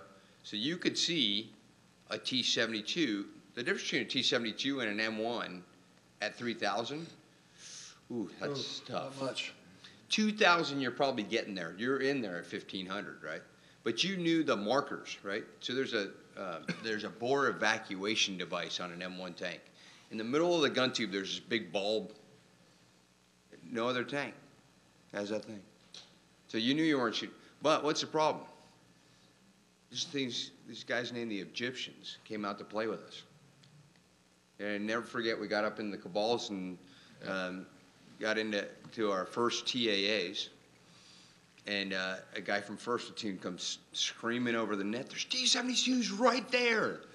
Yes, those are the Egyptians, and they're on our team. but nicely, the division and their planners, along with, uh, you know, trying to figure this thing out best for waging combat, put those guys onto our flank and back for the conduct of the war. But initially, that would really trip you up. The other thing is there's a ge- geometry of battle that, that you very quickly figure out when you get into it. When you are heading into, into the, you're in the lanes and you're going north, the bad guys are that way, and the good guys are this way. And even though I turned left to go meet some guys from 3rd Armored Division and do some coordination, there was a truck that was shooting at me and my company. And we did shoot right off the right flank on that one. Interesting enough, here's the other part of it. You got to shoot the right munition when you shoot at a target. So that was like a, a deuce and a half truck with a guy with a 12.7 machine gun on top. A crazy Iraqi wanted to shoot at an American tank company. I'm convinced he just wanted to go see the 72 versions. But okay, so we did a contact drill on. Everybody battle carried a round called a Sabot. The Sabot round goes about two miles a second. It's kinetic energy round and has no explosive uh, tenure to it, right? What did my what did my Sabot round do to the side of a deuce and a half truck? Punch through it like a piece of paper. Didn't do it unless you hit the guy. Of course, we had a very slow EXO who lost all his um gyros or all his uh, capability to uh, move it uh, by power. So he was uh, had no power to his turret. So he got over there by just cranking the gun over it. In that time, he loaded heat and launched a big heat round and blew that thing up, kind of Starsky and Hutch out, you know, tires going everywhere. So it was a good day. But I think the geometry much helps. But the problem is when we get in the 360 fights, geometry does no favors to you. So you've got to stay inside a range. Then you're back. If you're in the 360 fight, you're back into inside 1,500 meters. Period. You know. So I all think, uh, I think it's also fair, I'm sorry. Yeah, go ahead. I think it's also fair to say frightened people uh, make bad decisions. And, you know, one of the things you have to, as a commander, I, I felt I could do because of the optimal condition for the American Army in 1990 was to fight Iraqis in the open desert. I mean, you just couldn't ask for anything better. Uh, because of that, I could impose uh, harsh control measures, say, hey, we're not shooting until. And, and that, in my mind, was important enough to be sure we weren't shooting other Americans uh, or people who shouldn't be shot. I mean, they're, if somebody's trying to give up, you owe them an opportunity to at least have a shot at giving up. You don't have to risk your own life by the law of land warfare. And so, you know, there was a lot of talk about mine plows being used in trenches ought to entitle us to be tried as war criminals. Sorry, that's not the case. If they, they shouldn't have joined if they couldn't take a joke. It's okay to plow right through them. It's okay to shoot at them. It's okay to shoot machine guns at them a thousand meters away. But if they're trying to give up, and you can see that, then you have an obligation to try to do it. So acquisition and recognition and understanding the ranges at which that's possible. It's a physics problem. Long answers. Sorry.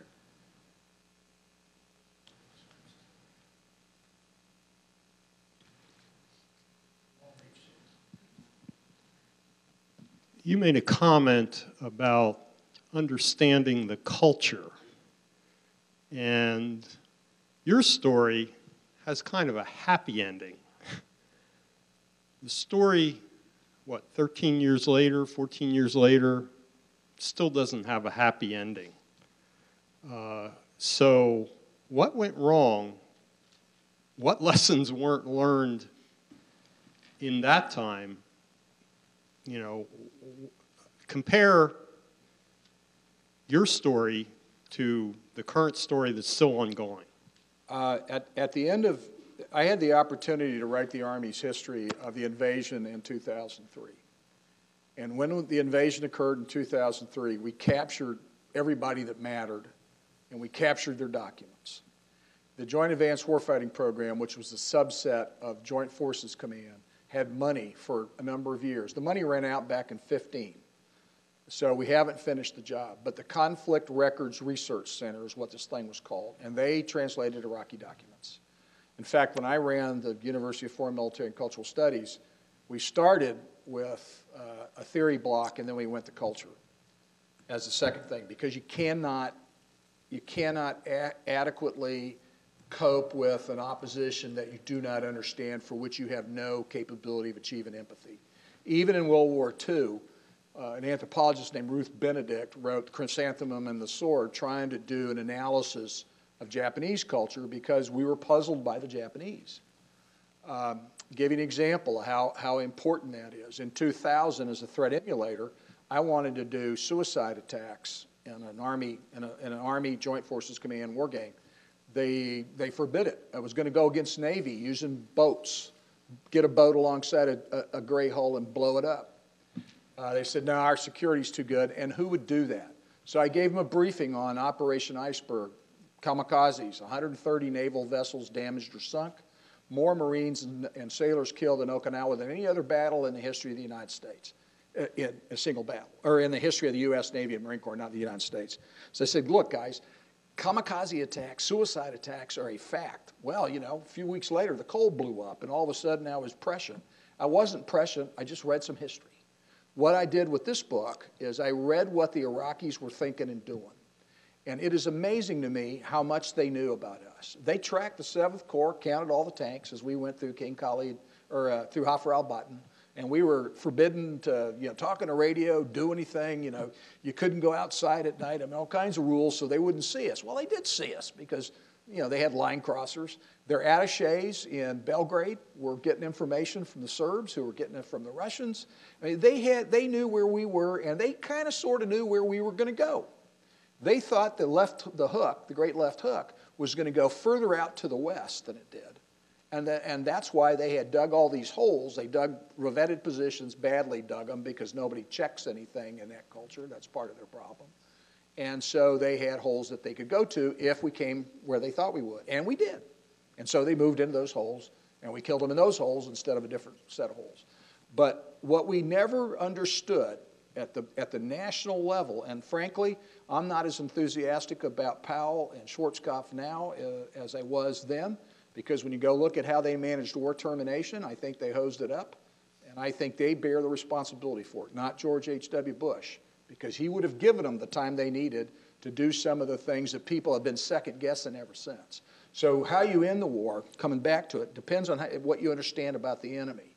We did not understand these people, and we still don't. And so, what happened in 2003, you could see the handwriting on the wall. By 2001, we are going to go to war by God no matter what. And this is a personal opinion. I think it was a terrible mistake because we didn't understand them any better. Now, when, when that was driven home for me, was, you know, not understanding Arabs is one thing, but I, went, I led the first U.S. troops into Bosnia in 19, December 1995, you know, with the 100 year flood, the tactical bridging, and all of that happy stuff. And, you know, you get into Bosnia, and everybody looks like Europeans, but they're not. They're not Europeans. They just look like Europeans. They don't think like Europeans. Their notions and their culture is fundamentally different than that in Western Europe. And, and that, was, that really drove it home for me because when Bill was at that lesser school uh, down the way in Durham, and I was at the great University of Chapel Hill, I studied the coming of World War I, dipl- diplomatic history from 1870 to 1914. Wanted to go to Sarajevo my whole life. Well, be careful what you wish for. I did not understand. So I came out of that determined that culture was an important part of what we do and that we shouldn't we should even contemplate going to war with someone. I, you know, I don't get to make that, that decision unless we've thought about how they view the world. Because the notion that uh, Saddam was irrational is, is mistaken. He was perfectly rational. If you understand, Saddam was uh, part of the Bedocracy, as they call it. He came from a, from a Bedouin culture, and, and that's an overstatement, but close enough. And he was from Tikrit, which is, you know, Al Tikriti is, uh, you know, that's not cosmopolitan Baghdad. If Baghdad's cosmopolitan, uh, which is to, you know, Baghdad is cosmopolitan as, as Junction City, Kansas is to New York City, okay? They're two different things. But Tikrit is the provincial, provincial part of, of, of Iraq. So this guy's rational behavior was based on tribal politics and Ba'ath Party politics, and we didn't understand that. And we still, and that's how we got into the mess. I think that's part of how we got into the mess. Plus, we also had the attitude that you could spread democracy with a bayonet, and I'm not, I'm not convinced that's true. Now, that's an opinion, okay? I can't prove any of that. Sir? It's shared opinion. There are some, my, my division commander shares my opinion. I'm, that, that's two of us, you know. That's two of us. I, I think the two of us have it right. I mean, well, I'll just add, uh, I kind of, I kind of got at it at the, um, in terms of, by the way, I went to, the next time I was in Iraq was uh, the summer of 2003 when I ended up in Mosul with the 101st Airborne Division. And this was, uh, and it's a division I'd served in for a few years during the, in the 90s, but we had deployed units to Kosovo from that division. And we went through a similar thing. We'd send off, um, and, and I didn't personally go, but I was a battalion, XO of an artillery battalion there. We'd sent off one of our batteries to participate in the brigade that went to Kosovo. Came back and, of course, immediately declared them non-combat ready uh, and told them that their work on behalf of national security was not appreciated. Uh, but we were also, so we had this thing about lesser included uh, uh, objectives and things that we kind of tended to discount. And we've done this in the 90s. And uh, uh, somebody mentioned Walt Ulmer earlier, and I think this is another one, one of these heroes to be noted from this era of the Army's transformation. Westmoreland asked the Army War College to do a study in 1970 on professional on, on what was going on, and Walt Ulmer, as a lieutenant colonel, was part of that study group. And that's the one where they identified a lot of the problems of deprofessionalization of the Army. That partly when you get to Lai and things like that, you realize ticket punching, body counts, things of the bureaucracy that were going on, lack of training of officers, NCOs, soldiers, draftees, of course. But it wasn't just the poor quality soldiers. The Army had helped induce a lot of this. So how do we come back to being a profession? In the late 1990s, while in retirement, he came back out to do work on another professionalism study. This time uh, it was based out of the Center for Strategic and International Studies. And it came out in 2000. But in a lot of the interviews, if you read in there, one of the things listed as a tension was these, they were calling it OOTW, Operations Other Than War. This tension between what we were doing in Somalia, Haiti, Bosnia, and Kosovo in the 90s versus what we were told we were supposed to be doing. And at the time, it was seen as are we asking our troops to do too much, be combat ready, and do these other things? And this idea that these other things weren't important, were lesser included, or whatever title was put to them. Then we end up in Iraq and Afghanistan, and it turns out, just like most wars in U.S. history, if you actually want durable gains for your policy aims at the end of war, usually you have to sustain some control afterwards. We did it in Germany, we did it in Japan, we did it in the Philippines, we had to do it in the South after Civil War, failed, still working on it. Um, but we have been trying to do, I mean, this is a, a part of the Army's portfolio that it doesn't like, but always gets. And so at some level in Iraq and Afghanistan, we had a similar version of that. We did the battle well. And then there were strategic issues. The policy aims, I won't say weren't suspected and shouldn't be, uh, shouldn't be analyzed, but the Army didn't help. And it was, and you could watch the way some of the units behaved. And it's actually interesting. It was very, uh, there was a sense of, you know, when the chaos of all the looting after we deposed the government came up, one of our generals looked and said, I was looking around and supposed to, how is, who's responsible for order here? And then suddenly it dawned on him, I am. We got rid of their government and their army. We're there, and if you, we wanted some durable outcome in Iraq, we had to take some responsibility for, it, not necessarily turning them into a liberal democracy, but establishing some sort of order. The insurgency didn't happen right away. It came when we sort of lost control in some regards.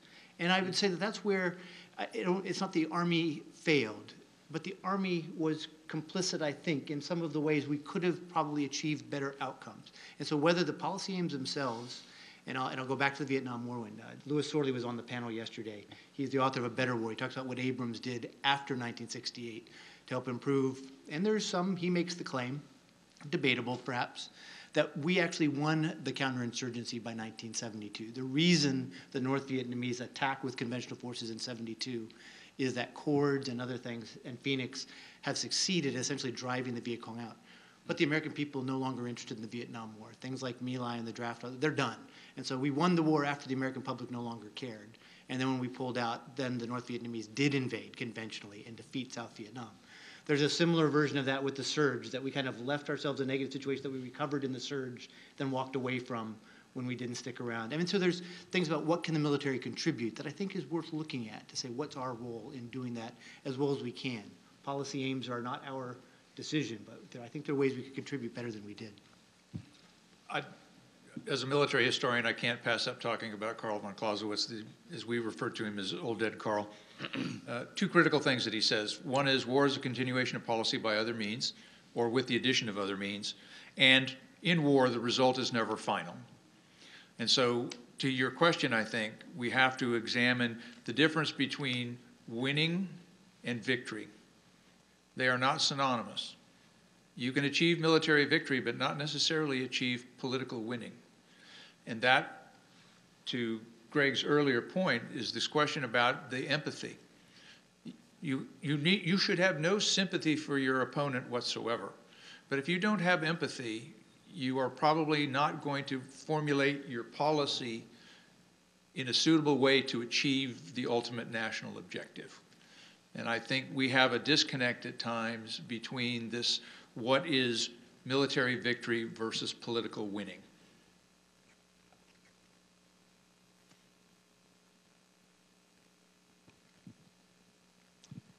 I think that's a, a, a very interesting comment, and, and it brings to my mind, uh, at least, what do we, how do we look at MacArthur and his notorious success as the supreme commander in Japan after World War II?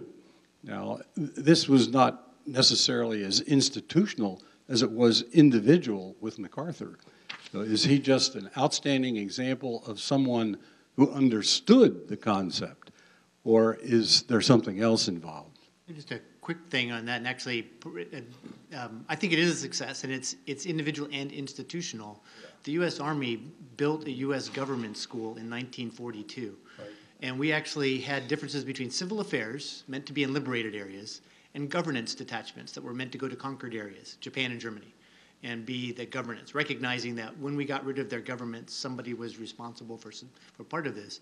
And I think uh, I think MacArthur and the Army deserve a lot of credit for how they managed the occupations of Japan and Germany. Of course, we shared it in Germany. Japan, we had complete control, so a little more. But I think those are models for, you know, stability operations, particularly in these post-war situations when you have unlimited objectives, meaning we deposed the government and basically de facto assumed control. The laws of war say when you conquer territory, you're responsible for the people on it. And I think that's where we had an awkward you know, a sense of what our responsibilities were in both Iraq and Afghanistan, as opposed to could we deposed both governments and essentially assumed control but didn't want to do it. And that was policy and, you know, at the operational level. And I think that compounded our problems uh, trying to hand over government too quickly to unprepared entities that simply made it worse. I mean, there's a counterfactual. Should the United States have simply, and it was declared by the United Nations, the United Kingdom, the United States, powers occupying Iraq in May 2003 and that we should have occupied Iraq. We did, the CPA and some of these others, but why not more like Japan and Germany, a few years before we turn it back over? Same thing in Afghanistan, potentially. And the United States Army uh, gave up the argument, uh, in my mind, uh, in, in 03. And I'm saying this from the guy who's writing the Army history at that point. We wanted to have a, a Te Deum to the Army about, boy, they're brilliantly successful. And I get over there in May, and, and the suction as people were trying to leave was pulling my shirt away from my body. everybody was, man, let's go home, have the parade, we're out of here. But international law has, you have responsibilities, whether you like them or not, and we didn't take responsibility, in my mind, adequately. And in fairness to the Army officers that were struggling with that, including Bob Williams, you know, uh, you're, when you're dealing with Donald Rumsfeld, you know, you're in an unequal debate. But that's, that's how it's supposed to be. It's not ever supposed to be equal. And you don't get to give up just because the guy you're dealing with is unreasonable. So part of, part of my angst about, uh, about all of this is strategic choices matter, coming back to Bill Johnsen's point, and we have obligations that we haven't always, uh, you know, it's not supposed to be an equal debate. You know, we work for the civilians, but we do have a point of view, and we need to be taking that point of view for the good of the country and not for the institution that we serve, which is the Army. I think sometimes we confuse that. I also would argue and add to what you, both of you have said is sometimes the Army's role is to be the hewers of wood and haulers of water. We are the logisticians for the joint force. And, you know, I, I don't want to see the Army become the, the hewers of wood and haulers of water for the U.S. JAR Corps, okay? But that, sometimes that's our role. And one of the things we don't like to do is we don't like to run theater, the theater logistics system. This division ran out of food and water at the end of the war. We culminated, to use old dead Carl's expression, because we didn't have any more water and we didn't have any more food. Now, God bless the logisticians, we didn't run out of bullets or fuel. But uh, one of the funniest things I've ever seen in my life is airdropping bottles of water to the hundred to the uh, to the fighting First Division. You know, those things land like they came off a two-story building, and so the pallets of water was it made an impressive geyser, you know, of water everywhere, and birds for miles around flew in to suck it up. But it didn't do us any good. So then they had to land on a highway to give us water and food. We need to think about the the trivial dull business of logistics. And if you do buy the book, I'm going to commend to you a picture in there of my battalion surgeon taking a soldier to a medevac bird while clamping his femoral artery. And he couldn't do anything with it in the field, so the femoral artery clamp had to be held all the way to the airplane. Then the guy on the airplane had to hold it all the way in. That kid is alive today. He'd have been dead in almost any other war in the United States. So those are some trivial things I wish I'd had more time to do which write more about the logistics fight. But if you want to read more about logistics, and I would ask you to think about this, so far, so fast, so many, so far, so fast, the United States Transportation Command's history of the logistics movement of the deploying forces at the end of uh, Desert Storm. So you had to improvise at the railhead to get out in uh, 90. And after 91, during the drawdown, we were going to spend a lot of money on improving strategic logistics. More RoRo, the C-17, better railhead, more siding, more rolling stock. I've been retired a long time. How'd we do? Uh, we did we did a great job. Uh, if you go to Fort Riley, Kansas today, they can I mean I, they can load out about a nanosecond if they want to. They have lit. Uh, uh, the place is lit. When we went, there were no lights, so you're loading in the dark with red flashlights and the rest of it. Uh, they've done a great job, but that was all done by the end of the 90s.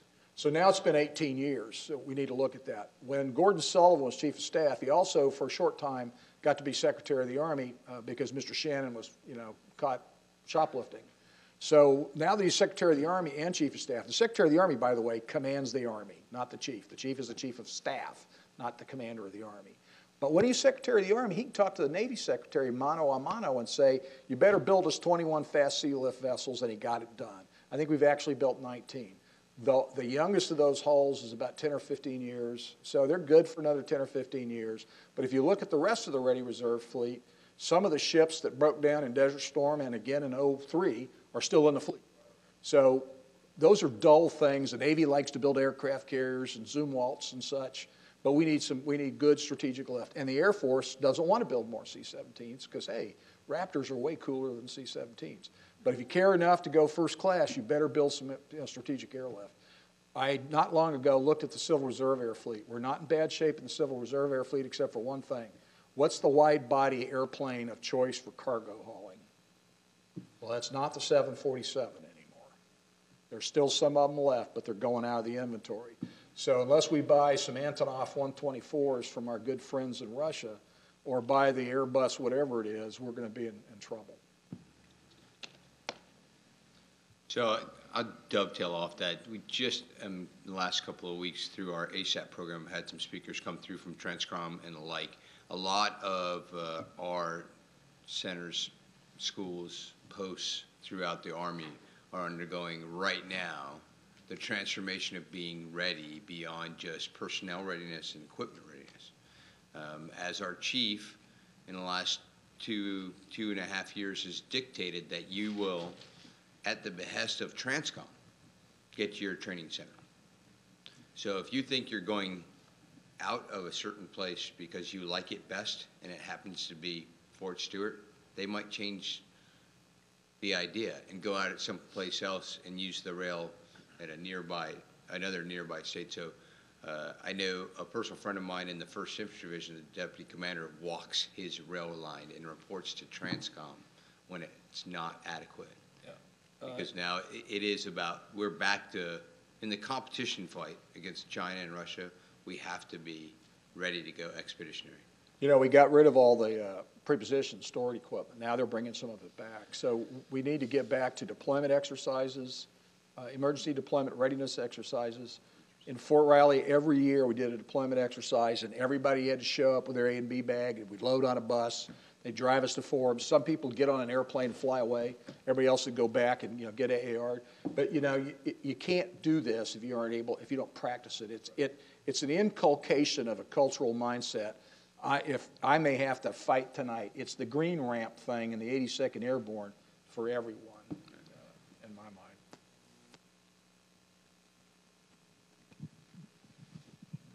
Uh, First of all, I'd like to thank you all for spending time with us today. I Appreciate that. Um, uh, My interest in coming here was primarily about the transformation. I only spent three and a half years in the Army. It was all at- in the first ID from 76 to 79, so that trans, the beginning of that transformation period. And uh, I think I was closer to the M1 Garand than the M1 Abrams. Um, um, But uh, my, I have a couple of observations, and then I'd like to ask you a question. So I got out in '79, and at that time, public perception of the military was not at its highest point. The next time I really saw anything about the military was Desert Storm, and there had obviously been this tremendous transformation from the Army that I left in '79 to what was happening at Desert Storm um, in '91. So over that 12-year period, I- I'd be fascinated to know what your thoughts were about what caused that. I will say this, that in 79, yes, it was Volar. Yes, we had troops that were maybe not all there for the right reason. But it didn't matter what they were there for. If they were led properly, they were good soldiers. And I thought what I saw was there was an ex- there was um, a real difference. There were extremes of leadership in that 76 to 79 period. And perhaps that's what happened over that 12 years between then and 91 is that you got much better quality across the board of leadership. I mean, when I was when I was at First ID, we, Gordon Sullivan was the the, the G3, and and um, Carl Vuono was the ADC. You know, uh, Dan Whiteside, who lives about half an hour from here, was a G4. Um, you know, there were a lot of good people there, but I had a company commander. I walked in as a second lieutenant one day, and I said, I had a problem with the troop, and I asked him what the problem, you know, how do I deal with this? And he said, this is actual quote. Did you ever wonder how a fly lands on the ceiling? I said, what? He said, does it fly up like this, and then just at the last it turns around, or does it this big this loop? And I'm, where is this guy coming from? You know? Seen Dances with Wolves. That's And uh, so I went from the extremes of, of the Gordon Sullivans and the Carl Vuonos to, you know, to this guy. So that's my question. How did you get from 79 with this extreme of officer quality uh, to where you were, I assume, in 91 with a much more consistent caliber of leadership? I- I'd make the argument, and I I glossed over this very quickly, it, it, he does cover it, uh, that the argument I would make is, is several-fold. You were part of the bow wave of the new Army. And I would make the argument, it's- seconded in this book, that in 77, 78, you started to see different soldiers coming into the Army, both in the officer corps and in, in enlisted. We had this thing called the training revolution. In terms of task conditions and standard for the individual soldier. We had unit training requirements. We went to an Army training management system.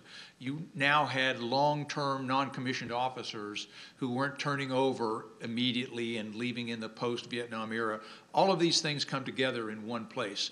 Each of these transformations would have been immense by themselves, but you've really got about 20 of them. Personnel changes. The idea that you, we're not getting McNamara's 100,000 anymore. You have to have a high school education. We, we didn't make that requirement because of an, an intelligence requirement. It's because you had the ability to stick it through to high school. And the propensity, if, if you could finish high school, you'd finish in an enlistment. And all of those things come together uh, in sort of a remarkable way uh, that gets quickly talked about here. Yeah, and I wish it had more time to talk about it because Bill's point's a great point. We also got tools that allowed us to get rid of the riffraff. So if you had somebody that wasn't ever going to be a good soldier, they gave us tools under 600, 200 that allowed us to let them go.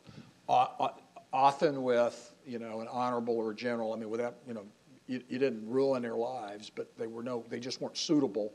Uh, You could get rid of them in training, you could get rid of them relatively easy if you made the case, uh, once they were uh, serving in the unit. That helped. I also think that training was a big part of it. You know, uh, Bob Killebrew is a guy I quote several times in, in, in the book because he was commanding right at the time that the, the 24th Division reflagged its first ID, which is where the book starts. And he, and he said in you know, one place, people forget how screwed up the Army was in 1971, 72, and 73. But he also said well, you did, that the kids that he had, you know, some of them were coming home from, uh, they were draftees coming home from Vietnam. They had six months to do. They were happy to do their six months if they weren't abused and weren't, you know, and, and weren't fed, you know, uh, treated badly.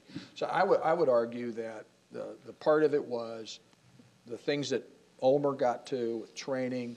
You know, we'd have the CG invited a bunch of lieutenants down to his house when I was a second lieutenant. Say, hey guys, what do I need to do to get you know? To, you know, it was kind of a, it, it was there was clearly a sense of commitment to the idea that the Army needed to do better at, at dealing with the soldiers that it had at the transition from the draftee Army uh, to uh, the regular Army or the professional Army. And I think that was an important thing. And I want to just throw one other thing out that's irrelevant to this story. I get to go down to Fort Riley quite frequently. And, and my bias, by the way, when I was asked to do this book is how do I write a book about the unit I served in? And one of the struggles for me was trying to tell the story warts and all because, you know, oddly as it may seem to those of us that served in the First Division, we weren't always perfect. Um, mostly we were perfect, but not always. The soldiers that are in the Army now, these the millennials that everybody wants to talk about, they're fine kids. They're okay. Uh, they're just different than we were. So, uh, advertisement for the current crop of American soldiers. If I could say just one thing real quick to, as a recipient of the, of what others did to create the Army that I got to, to get into, but I got a lot of it secondhand. And the people I got it from was the non-commissioned officers. And when I got to, and, and I'll just as a vignette, I mean, I got to the 82nd Airborne Division, the, the NCOs there, many of them were there at Vietnam, they were at the tail end as soldiers, and they stuck around. The ones who stuck it out, made it through with the drug testing and the indiscipline and, and pushed through, were incredible leaders. And, and I'll give you one vignette. There was a Master Sergeant Sexton. He'd been a major in the Vietnam War. He'd actually been a staff sergeant who became a major. And then when the RIF hit, he went back to being a staff sergeant. And so now he was junior to the NCOs he'd been peered with, he had been his peers. He stuck it out. He cared about the Army that much. And it was these folks, and it was interesting to watch, because secondhand, knowing this story, officers often didn't trust the NCOs. And so it's partly one of the things that a lot of the junior folks is we got to, you could trust the NCOs. We had to help the senior officers recognize they could trust the NCOs again. But when I think back, I mean, I've seen a professional NCO corps my entire career from the day I entered West Point in 1980 until, uh, particularly as a lieutenant in 80, in 85. I received that NCO corps from somebody else. But I, when I look at where the professionalization and where the, where the turn came, I still go back to that touchstone as being crucial.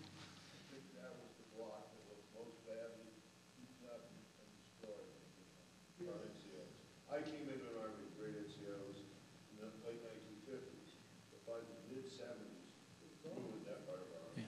I'll, another short brief vignette. The very first day in my unit, I was asked to bring Staff Sergeant Morales to the company commander's office.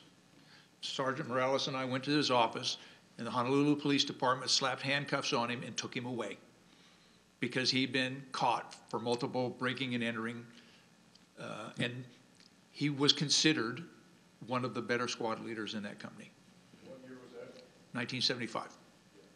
Yeah, I think you came in and as if it could start to fix that, which is one of our biggest problems.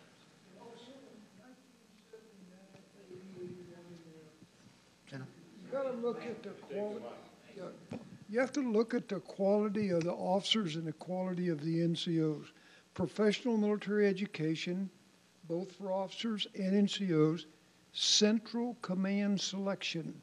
Yeah, That's a biggie. Look, it's not, it doesn't matter who you know anymore. You gotta compete against your peers and you have to know what the hell you're doing. If you're gonna take a division and fight it in the desert, you, that is not rookie amateur sport. Being a battalion commander of fifty-eight tanks that can kill at two thousand meters with accuracy is not amateur sport. These guys have to know what the hell they're doing.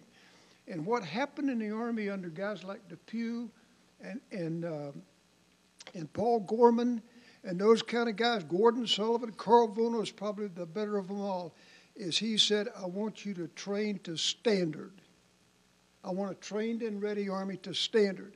He knew what standards were because that's where we were told to go to. And the quality of your officer corps and your quality of your NCO corps grew. And it hasn't, it, the only thing that's changed since Desert Storm is they're better than we are. Mm. Why are they better than they are? Because they went to school on us, and now they have better technology and they think faster than we do. It's hard to even play bridge with them anymore because they think faster than we do. You know what I mean? But the quality of the leader has really accelerated. And let me tell you something else. The soldiers were a part of making us that good because the soldiers get out can think as fast as you can today. They get the technology quicker than some of the leaders do today. But it, it's an exciting time to have been a part of the Army. Sure, and we're gonna probably have to take one more.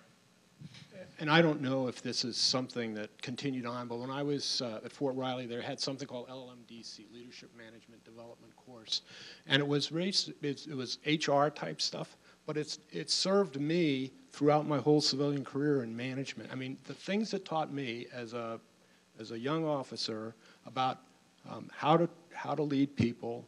I mean, different cultural differences. Somebody mentioned, you know, race relations and things like that. I mean, it was the simple things like, hey, when you're talking to a Hispanic, and you, and you're you're um, uh, correcting him on something, he'll he'll be looking down because that's what culturally he's taught to do when you're being corrected. And what oftentimes an officer would say, "Look me, I want you to look me in the eyes. I want you to look me in the eyes." Well, that's not what the culture was. And we were taught a lot of things like that that really served me well. Um, and, and maybe that sort of thing continued on after I got out. I don't know. Uh, you know, more of the how do you treat people, how do, how do you lead people type thing. So,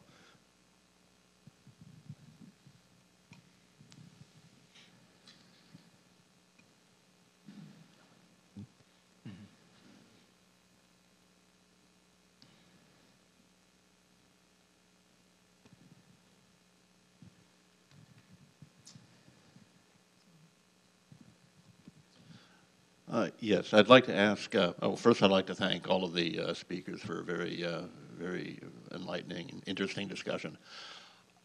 During Desert Storm, the rest of the world was watching.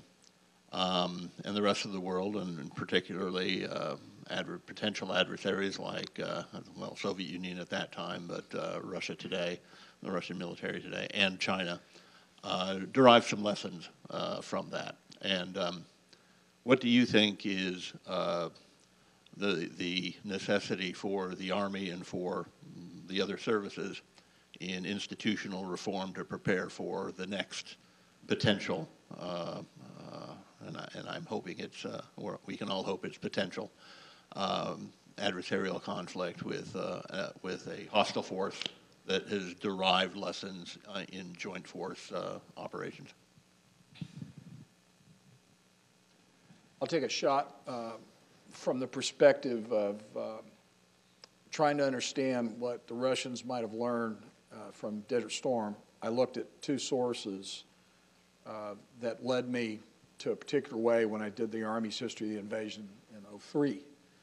And the, the Russians described air-land battle, and they've continued to, to reform their view, but, but essentially as an attempt to have contactless fight, where you're killing your enemy at, at long ranges. All the hype about precision munitions and the long-range uh, Hellfire uh, anti-tank missile tank guns that could, you know, 15 to 3,000 meters accurately, assuming you weren't shooting at friendlies. But the most interesting assessment I read was by the Indians, uh, the Indians of the subcontinent, not my ancestors, the Choctaw. But the subcontinent des- described what we were trying to do as, again, precision attack with low risk. And so they made an argument of what you should invest in. And if you read what they, it's Lancer's papers number six, it's easy to find. It says you got to look at energy weapons, you have to look at improved air defenses, you have to look at uh, long range sensors, buying satellites, that kind of business. And if you look at what the other guys are doing out there, they're doing those things. Uh, the Russians explicitly and specifically now have done through several iterations, and there's a guy named Gerasimov that everybody says, hey, Gerasimov's new way of warfare. Gerasimov is describing in the new way of warfare what he thinks we were doing, which is about attacking in multiple domains simultaneously air, land, sea, cyber, all of that simultaneously. So, so to get ready for that, we have to, first of all, understand uh, rule number one is nobody fights symmetrically. I, I hate people talking about symmetrical warfare, asymmetrical warfare. Nobody ever, you know, it's like asking who, who, who started a war to lose it? Nobody does that. So, so you're talking about asymmetry from the get go, uh, and that means have more of your stuff than they do, attack them some way they don't expect. But it's all about asymmetry in, in every, each and every case. So the Russians are looking at us and saying, hey, what I don't want to do is deal with these guys in a symmetrical way. I don't want to fight them in the open plains of Europe. So they're doing long range weapons. They're buying the, the S 300, S 400, very long range air defense, 300 kilometers or so, you know, in the unclass mode. And they're building the capability to, to find our, our stuff. If, uh, if, if a stealth airplane has the, uh, a radar blip the size of a sparrow, and the sparrow's going, you know, 700 miles an hour at 35,000 feet, what do you think it is? It's probably not a sparrow, you know. There are ways that they can, they can overbalance what we do. Uh, the U.S. Army was slow to pick up on that. When I was commander of BCTP in 99, when I re- retired from the Army, there were 65 countries that were employing UAVs. The United States Army wasn't one of them. Uh, now we have UAVs, there's clouds of them over every unit, but we haven't figured out how to run the airspace. Long answer to a short question, but the bo- bottom line is this we cannot, we are the guys that others emulate right now. So we have to look at that from their perspective. If you're going to fight the gringos, what do you have to have? And then the gringos need to think, what are the counters to that? I just add one last point on that too, is I think, and they have, the Chinese and the Russians that really went to school on Desert Storm. Yes, they did. Spent a lot of time trying to figure out what that means. Now, and I don't have the exact answer for all things they're coming up with. We're working on, we're mindful of different things. But the thing that I'm most heartened by goes back to the last slide you had where it's really about the people. It's not our equipment that made the difference. It's our people and the systems we've put together, our education, our training. The Chinese and the Russians do not have NCO corps as capable as ours. They don't have junior officers with the same sort of education, talent, and ability to act on their own. In that regard, uh, and, and probably not surprised, I'm here in professional military education. I care deeply about this, but I think this is one of our great comparative advantages. It's, it's true of our entire education system. That's why so many internationals come to us. And the Chinese, frankly, send a lot of their students here because they, they are probably the ones who've caught on most to the real way to counter us is they need the human capital to help match that. They're the ones I'd be more concerned about as a competitor than the Russians because they've kind of figured out that part. They're trying to professionalize their military because they've recognized it isn't the equipment. I think it's a really hard effort for them to do that. We've got tremendous advantages in how we develop our people. That's to me where we maintain, you know, our, our edge. And I'm less worried. So I'm very heartened by the way we approach this. The fact that we even talk about a successful event like Desert Shield or Storm and still talk about the things that we didn't do as well as we should. The issues of fratricide, the issues of indiscipline, the issues that we can talk about openly. Talking about My Lai yesterday in the Pentagon, for goodness sakes. What institution spends that much time looking in the mirror, doing the after-action reviews, not just on the tactical, but at all levels, so that we can be better? Our human capital is what that yields in ways that I think that those adversaries, any adversaries, as we challenge, our allies are the closest to it, and that's because they recognize that we are kindred spirits, and that's an advantage too. So I'd add one more thing to that. So I think the, the, uh, the Russians are very good at this. Gerasimov loves it, and, uh, and the Chinese are doing it too.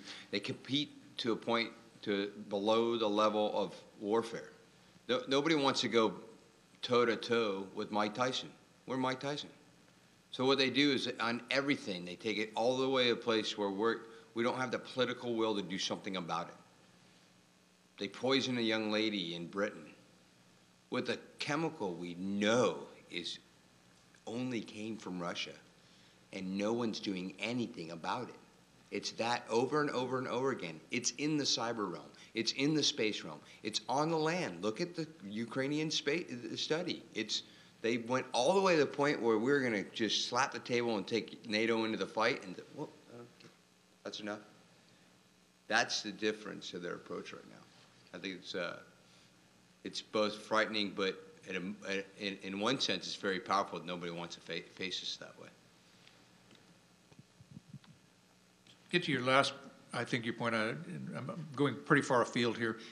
Um, if we are engaged in a major conflict with a major regional power of some form or another, uh, we've got to do something to build the resiliency of the American public. We've lost a little over 2,000 people in Afghanistan. We have the potential for conflicts where we'll, use, we'll lose that in hours. And how are we as a, as a nation going to have the military resiliency to continue to feed the force into the fight? And then how do we build the resiliency inside the population to withstand that, as well as some of the deprivations that are going to come? Brian's point about Russian cyber attacks. I don't know if you've been following it in the news, but you know, they're just about everywhere.